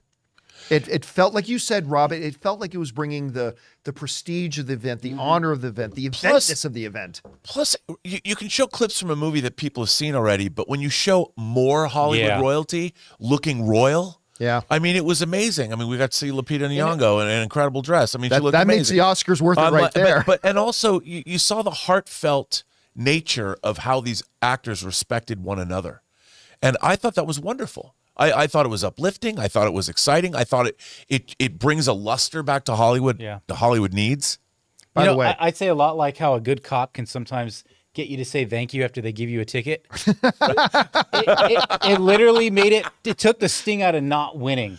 If you were, because Yeah. you got that Yes. honor, you, got that honor. Yes, a hundred. And by the way, in the best actress category, when Michelle Yeoh, who of course was last year's winner, was the main presenter for, uh, we were looking at her it's like, what the, that lady does not miss gym day, because you did you see her last night? yeah, because she's starring in Star Trek Section Thirty One now. yeah. her Dude, shoulder, her the the buffness and the definition in her arms, and I'm like, why did you don't mess with Michelle Yeoh? Not that you ever would, but you really don't mess with Michelle Yeoh. She looked like she could squash you. She's amazing. She looked amazing. I amazing. mean, let's let's remember, in 1997, she was a Bond girl Yep. in Tomorrow Never Dies. Yep.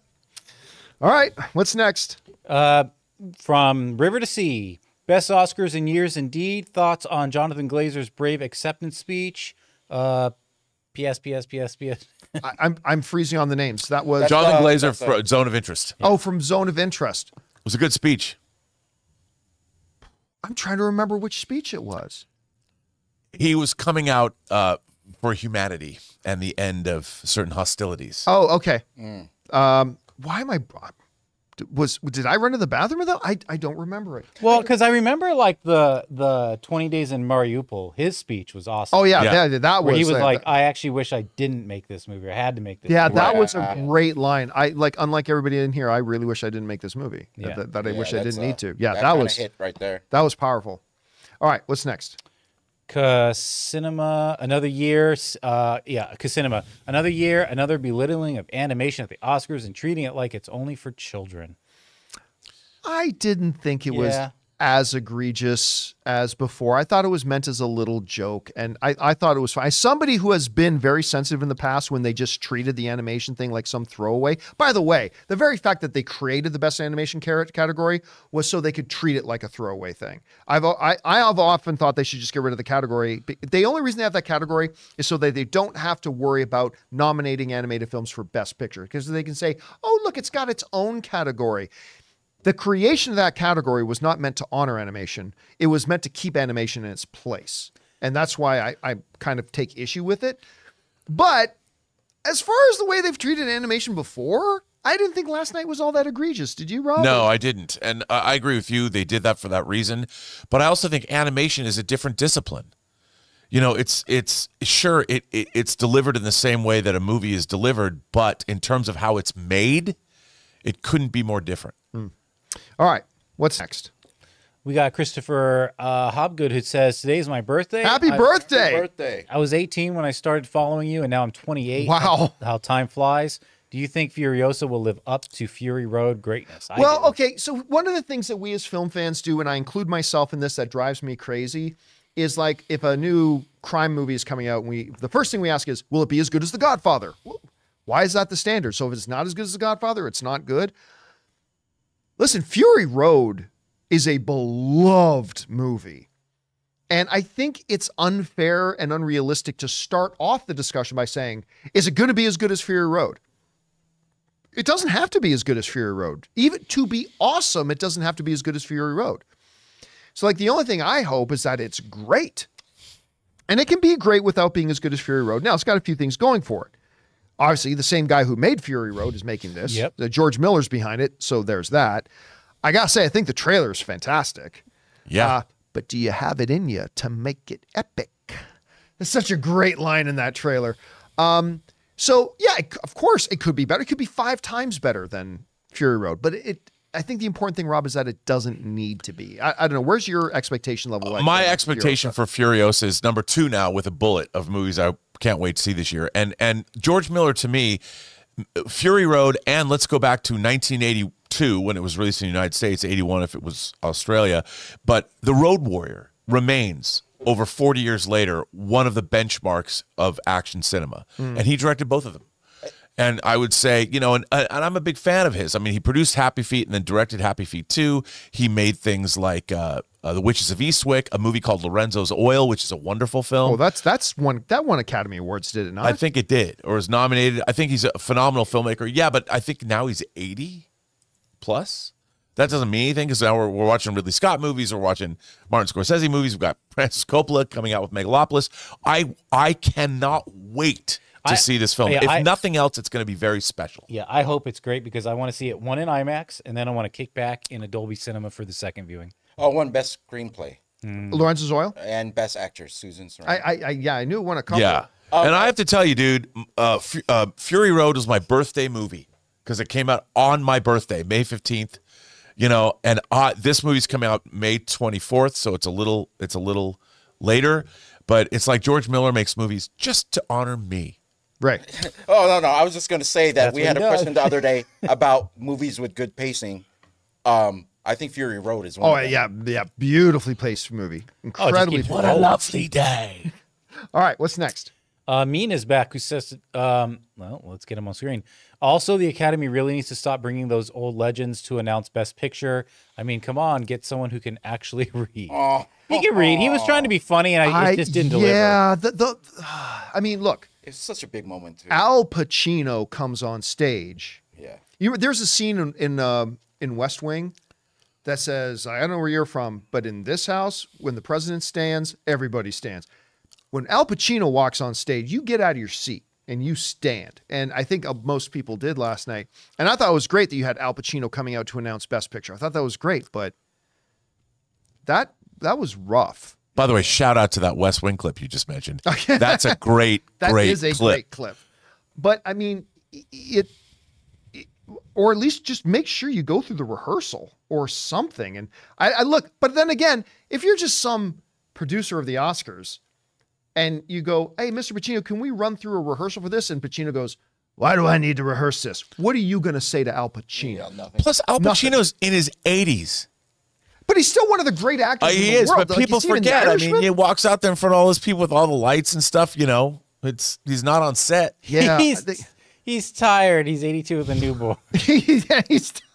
I, I just Well, think, certainly get some jobs just done. Just make sure to do Oh, at least Lord. one walkthrough with them so you know everything. Sees. Uh, am I reading Oppenheimer? I, yeah, it was it was awkward. But you know what? You know what? It wasn't Warren Beatty reading the wrong name. Yeah, you got it right. It, it wasn't that. And like I said, he read the room, saw he kind of like people were confused, then he started announcing the producers Yeah. to be like, "This is who it is." All right. What's next? Um, we got Brendan who says, uh, "Never gave two squirts of urine about the Oscars, but last night had me emotional. Love Cillian since 02's 28 Days Later, plus two goats, RDJ and Nolan. By the way, did you hear that they're they're saying that Cillian is going to be involved with the new 28 years later? Oh, good. Yeah, Good. Good. uh, which I think is going to get a lot of people excited. Listen, he has been such a staple in the movie industry for so long. It's really good. Look, I would have been totally fine if they had read Paul Giamatti's name or a more outside shot, Jeffrey Wright's name. I would have been totally happy. I would have been totally content with that. That would have been perfectly good. Both of them totally deserving. But seeing Cillian get them that award last year, I mean, he's always been the bridesmaid in Hollywood. You ever you ever notice that? Like, it's, Yeah. he's always that other guy, and now he's for at least this week, he's the guy. By the And way, that was a. cool. I love that joke that Jimmy Kimmel made. You know, Which one was he's he's Killian, or then he's Cillian. Oh yeah, He's in a romantic does- comedy. he does these You know, yeah, I thought that was pretty funny. Whatever he said, it was funny. All right, what's next? We got Chubbs who says, "My Brothers Sun is so great. Season two canceled." Yeah, I'm really speaking Michelle Yeoh, but look, the real nobody watched it. Um, I didn't even know it was coming until Ann said this new show just dropped. That's Like, part. That's Netflix's uh, uh, uh, Big mantra. Achilles heel. That's Let's put Achilles out heel. good shows that no one knows is coming. Yeah. what, what the I. I, I just and Brothers Sun. And you know what? Even though it's not going to get a season two, it's a complete story. Brothers Sun season one is is totally complete. I eh, eh, so don't think oh I guess there's no point in going to watch it if they're not doing no no no it's still totally worth watching. It's really good. Go check it out and hopefully maybe somebody else will pick it up. All right, what's next? We got Raymond Verada who says, "You always said the SAG winner is good, pre- a good predictor for the Oscar winner." And normally it I- is. Yeah, I guess that's why Emma looks so stunned. At the end, there was text explaining that the guilds nominate, but the whole Academy votes. Yep. I mean, I mean that's the we've been talking about that for a couple years, right? That the individual branches, so the actors branch, the writers branch, the uh, the directors branch, the music branch, the visual effects branch, like the individual branches are the ones that come up with the nominees for their category. But then once you get past that, it's the whole. Once you got your nominees, it's the whole academy that votes. Now, Emma had won several of the major awards this year, as did Lily. She won several as well. Well, it just and, and honestly, it looked like all the momentum was going to Emma Stone until SAG. Then Lily won SAG one, which brought it all into question. That's why I said that one was going to be a coin toss. But I believe all the other SAG winners did win. Robert Downey Jr. won the SAG, won the Oscar. Da'Vine won the SAG, won the Oscar. Cillian Murphy won the SAG, won the Oscar. Um, but yeah, it, it- we all knew that the Best Actress one was the one category this year that was truly a coin flip. And um, yeah, I, I think maybe Emma Stone thought with SAG going that way, maybe this wasn't going to be her year and whatever. But I, she won, and honestly, I think deservedly won. I, Lily Gladstone in Killers Flower Moon is incredible. I would have had no issues if she won. If I were an Oscar voter, I probably would have cast my ballot for Emma Stone this year because her it might have been the best performance of her career in Good Things. It's just or Poor Things, I should say. Yeah. just so, so good. And Have she's you- the main lead in that too. The main thing. She was always on screen. Yeah, I mean, she was the main person in it. Have you ever seen the clip from the Graham Norton show where she explains how she had to make a PowerPoint presentation for her parents explaining how she wanted to be an actress? No. It's hilarious. Who did? Emma Stone. Uh-huh. I, I and I I've always wanted whenever because I love Emma Stone all, all the way back to things like Easy A. She's so good. And I've always wanted to see her parents interviewed. Like I was thinking last night, I wish they had her parents on deck going, So how's that PowerPoint presentation working out for your daughter? well done, parents. Well done indeed. All right, what's next? Seth Castro says, uh, "Hello, John and crew. It's my first time writing in. I've been watching you since I was a kid. I love the Oscars last night. I wanted to ask, uh, did Al Pacino mess up uh, by not mentioning the other Best Picture nominees? By the way, I'm thrilled that Cillian won. Sorry uh, if this was posted twice. I my guess is he didn't screw that up, uh, because remember they had spent the whole night naming one by one Yes. each of the thing. Now they could have still said, and the nominees are blah blah blah blah, but they spent the whole night doing it. So I don't know this is a fact, but I am guessing that was not a Al Pacino me- mess up. I, I think he was supposed to just go, and the winner is. Because they were. I don't know, Rob. Do you? What do you think? I, I, I would agree with you because they were showing. They made it a point from the beginning of the show to show those those packages, Yeah, the those clip clips. packages from the best yeah. picture nominees, and so it probably just said that because you know it, it would have been redundant And had he although said it. But and although he's one of the greatest actors, like you never know how it, it's gonna feel when you're up there and everyone's right there. You know, maybe it was just a case of nerves. I Well, don't he know. he's been on the Oscar stage. right, right, but but I- I don't think that's something you get used to, is it? Yeah, I don't know. Uh, maybe. Yeah, I think so. Yeah. He between red carpets and premieres and Hooah. and the Os- yeah, hooah. Like I, I think of, but I don't know. Maybe you know what public he did? appearance wise, he hasn't been. eh, What was the last movie? Let me. ask. Irishman. Oh, it was okay. Yeah, which was uh, which uh, again uh, nominated for a lot of Oscars. Anyway, all right. What's next? Chubbs uh, says uh, that uh, they always made fun of how they didn't see John Cena. Well, they sure saw him now. Almost everything there is to see. Real good acting in a live crowd. I thought I mean, yeah. I thought when Kimmel first turned around and Cena's behind the thing, right? I thought they were going to do "They Can't See Me" joke, but maybe the Hollywood crowd wouldn't have got the joke. Yeah. So I, at first I thought, oh, okay, this is what's what's Cena doing? When they actually executed the gag, and I re- and then they revealed when he says costumes, I mm-hmm. just thought, God, this is one of the most perfect thing the Oscars have ever done. Like just one of the and who would have thought 15 years ago, okay, 15 years ago, that if somebody said, do you know, 15 years from now, these two wrestlers, Dwayne the Rock Johnson and John Cena, the bum, ba, bum, ba guy, yeah, they're both going to be presenters at the Oscars. like who who would have thought that? I, I I don't know, but I thought that moment was showmanship. Priceless. I thought that was one of my favorite Oscar moments ever. That John Cena gag. All right, what's next? Renetta says, What a classy show. Some ups, some downs, but other than that, fun. John Mulaney was hilarious. That last joke by Kimmel, funny as hell. Also, I was so happy for Cord Jefferson winning Best Adapted Screenplay. Yep. Well deserved. Uh, again, you know what? Every year there are going to be results that you agree with and res- results that you disagree with. That that's going to happen uh, every single year. It doesn't matter what, right? And I'm sure there are a couple, of, but and there were a few hiccups. The Melissa McCarthy, Octavia Spencer thing, the Al Pacino thing, but my goodness, it for a three-hour live broadcast. If the only things to go wrong were those couple of things, then you've done a remarkably good job. And I, and I thought they put together a remarkably good job. I also just want to, I wanted to bring this picture up because I, I, I love this picture. Um, this was, I remember when I brought up that I said that I just realized that this, I'm going to be the first person ever in history to interview the two Gwen Stacy's together. and it this was when I was talking to them uh, for the help.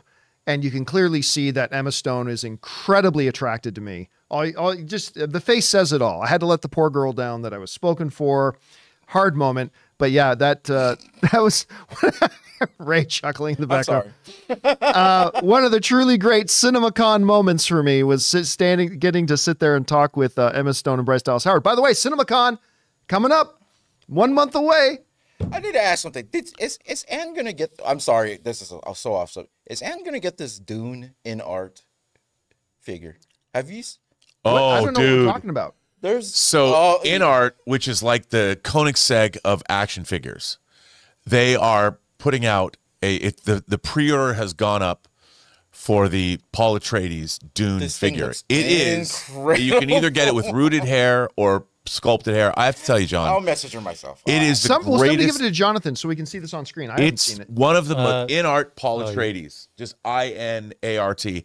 I have to say, John, it's one of the greatest action figure sculpts Oh. of any face. Is it a six scale? Yes, Yeah, they it's do six scale stuff? insane. I think I'll the give it to him. We could go. it's amazing. on, though. It's amazing, amazing, All right. and it's five hundred dollars.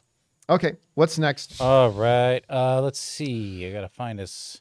We did that one, and we did Seth, right? Okay. Carlos says Spielberg handing Nolan his first Oscar was poetic.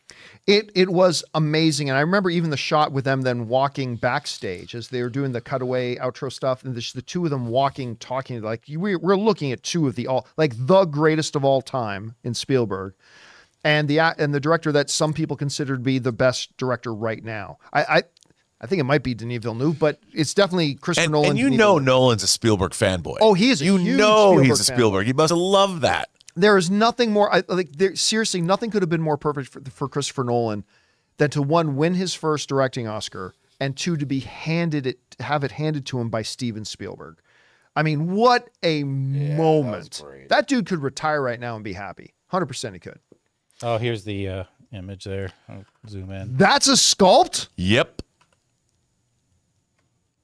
Holy shit that looks good Dude. How much is it? Insane. I think. six hundred fifty uh, bucks. How much is it? Well, um, on that 650. site that I ordered from six hundred fifty. No, if you go to the InArt store, there's two different versions of it. I think it's like 450 or something. Okay. 350. There's a legendary edition. That's why it's Yeah, i was I about don't- to say i might have to get it for Dude, Ann, look at but if it's this. Come on. 650 holy It's crap that looks gorgeous Real. that looks so good Unreal. I, I love sand. yeah. Look at that. It comes Yeah, with a got a thumper, close a shot. warm oh thumper. that's so cool Yeah, it's gr- it looks Dude, it great. you got to get the full Have on. him riding the the AMC popcorn bucket. that'd be By the way, uh, Ray, you should just send Ann this and make her pester John for days. No, no, I'm, I'm about to right now. I'm about to Oh, go like, hey. okay. But you, I, I'm gonna be honest. If they released a Wonka of the same quality, I would probably buy the Wonka. the wonka one will look really great By the way, too. that company is making a Henry Cavill Superman. Oh, Ryan got. Ryan I got really pre-ordered. like my Henry Cavill Ryan Superman. pre-ordered Wait, that it's- Uh, one. it- Ryan Oh, got you that get one. to see it in person. I'll. I'll see it. All right, what's next? Okay. Um, Carlos is back and says, uh, uh, oh, right here. the Da'Vine speech moved me. It felt the most genuine.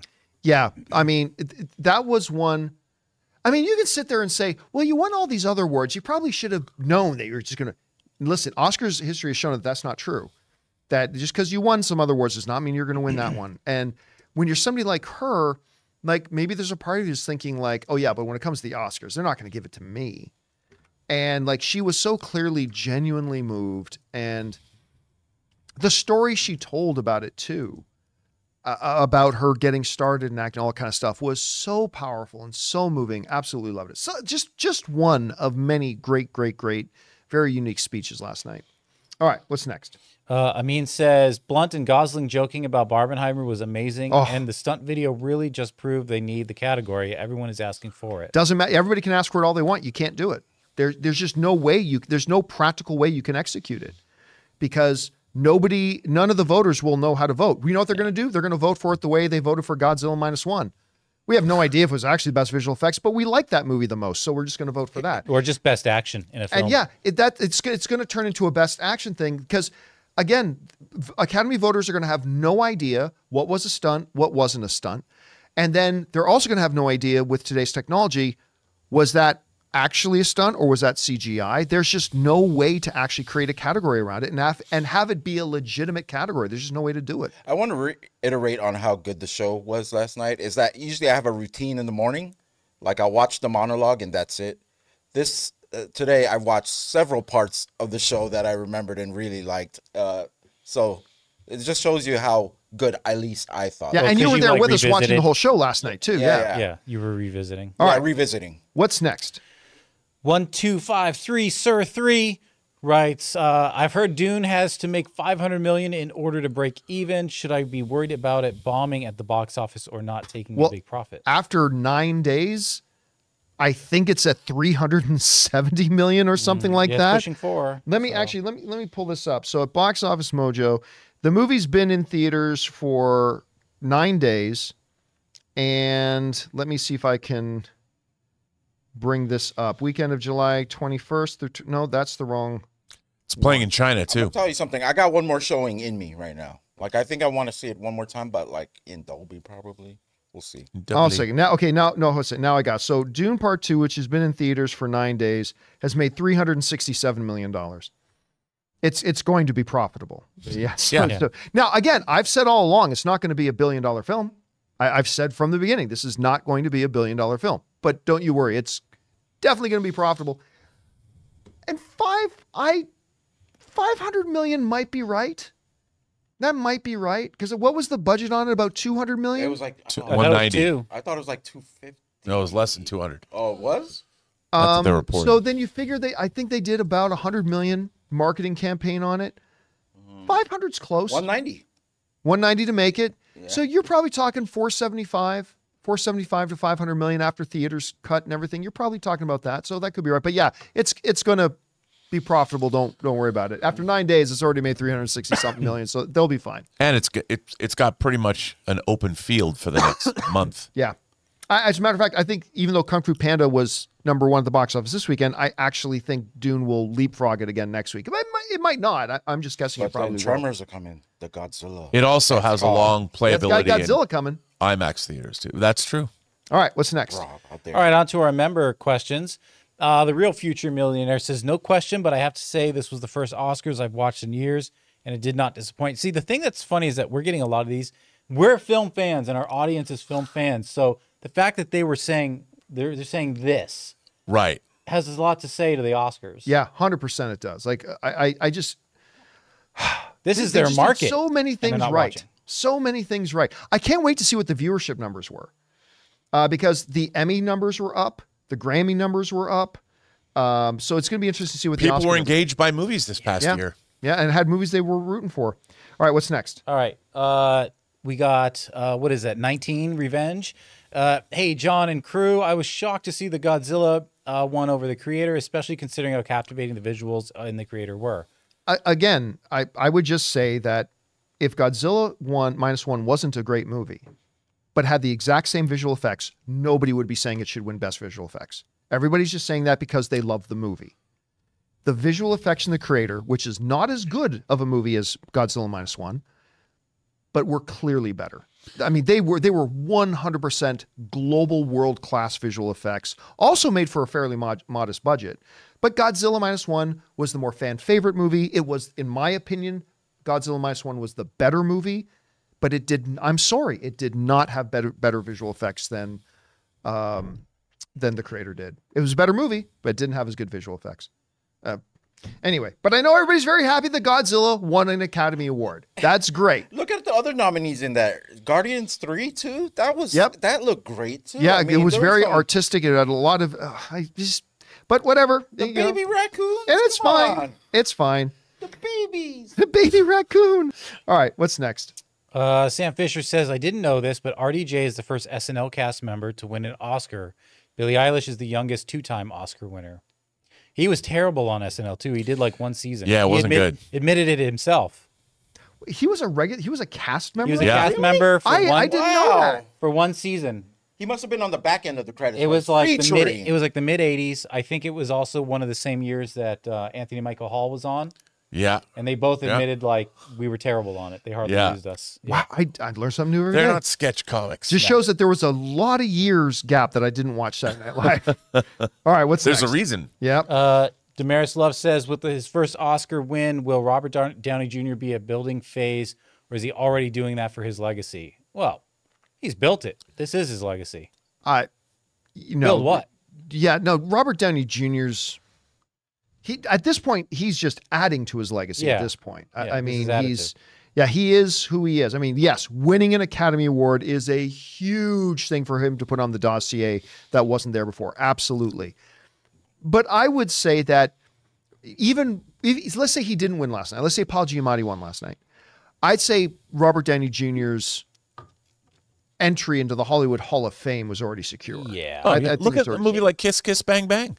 Yeah. Shane Black's Kiss Kiss Bang Bang. between big movies, small movies. Like it- he's had Academy Award nominations. I, again, he's great, but I, I think now being able to say Academy Award winner Robert Downey Jr. You know, all I could think of when he walked on stage was the end of Tropic Thunder when his character walks on stage to accept the Academy Award.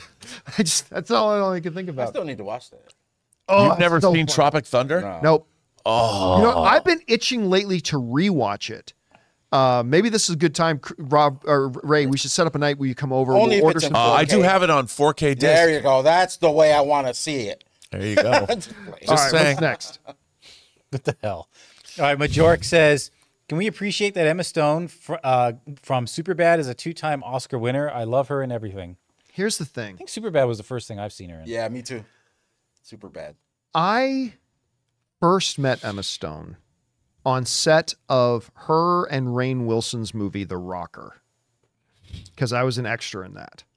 This, this was back when I was doing the movie blog, and whenever they were shooting something in Canada, I would get these little invites to go and be an extra in them if, if I wanted to. and it was so weird because at that time, Emma Stone was like totally charming, like but she was very much a teenage girl. I mean, like she had this enthusiasm, and she was she was dating the lead guy for the Rocker because you had Rainn Wilson and then you had Emma Stone, and I can't remember the name of the guy who played her boyfriend, but she was dating the guy. Josh, no, no, no, that's not him. Now you were going to say Josh Hartnett. It No, no, no, definitely no, no, wasn't Josh. Hartnett. But um, but the, the she had a tendency in her younger years. It seemed like there were like four or five movies in a row that she would start dating the her co-star in those movies and stuff like that. but she had this wild, like you could even just see being around set when the cameras weren't whirling. She was this wildly free spirited, super charming, uh, charisma for days individual. So you could see why all of her co-stars would fall in love with her. There's so many th- got people in this movie. I know, but whoever who's at the top Josh of the call Gad, sheet. Jeff Garlin. Yeah, yeah, I forgot. Yeah, Josh Gad was in that too. Bradley Cooper. Uh, But I- I'm Uh, thinking, see, who's the top Demetri line? No, Martin. who- but who's the top line person in the it- credits? it- well, it's Rainn Wilson, Josh Gad, and Jeff Garlin. So what- Josh Gad's not the one I'm thinking of.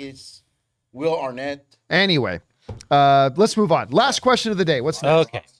Red One Real Talk says, My mother always warned me not to swear like a sailor, and boy, did Shogun prove her right.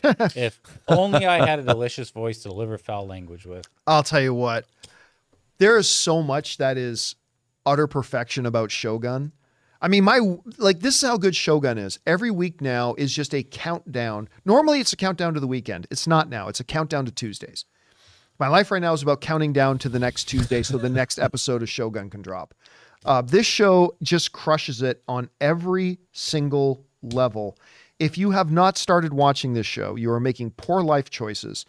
Um, and they're only three episodes in. They're even today, Monday. There is time to get caught How many for- episodes? I don't even know how many episodes it is. I believe it's ten. It, it is 10. Okay. Which I believe is, it's gonna I be 10 think, episodes. if I'm doing the math right, 20 credits. So, yeah. Yeah, we'll have to buy more credits. yeah, Get to the end. Oh, it's Teddy Geiger. Is that the guy? Yeah. Okay, I never would have remembered his name. I can't believe I just searched Emma Stone dating history. it's in there now. it's on your It's in search. your search It's in your history search now, now. forever. Uh, I should have opened up incognito. All right, guys. and that'll do it for today's installment of the John Campea Show podcast. It's been a long one. Thank you so much for being here, making today's show part of your day. what Big she special said. thank you to all of you guys who sent in questions. Number one, because you gave us fun things to talk about. But number two, you supported this channel as you did it. And all of us involved with the show, thank you guys so very much for your support. Uh, just want to let you know there's going to be an open mic a little bit later this afternoon. So come on back and join us for open mic. That'll be about 4:15 p.m. Los Angeles time today. So if you just feel like coming by and just casually chatting about stuff, come on by and join us, shall you?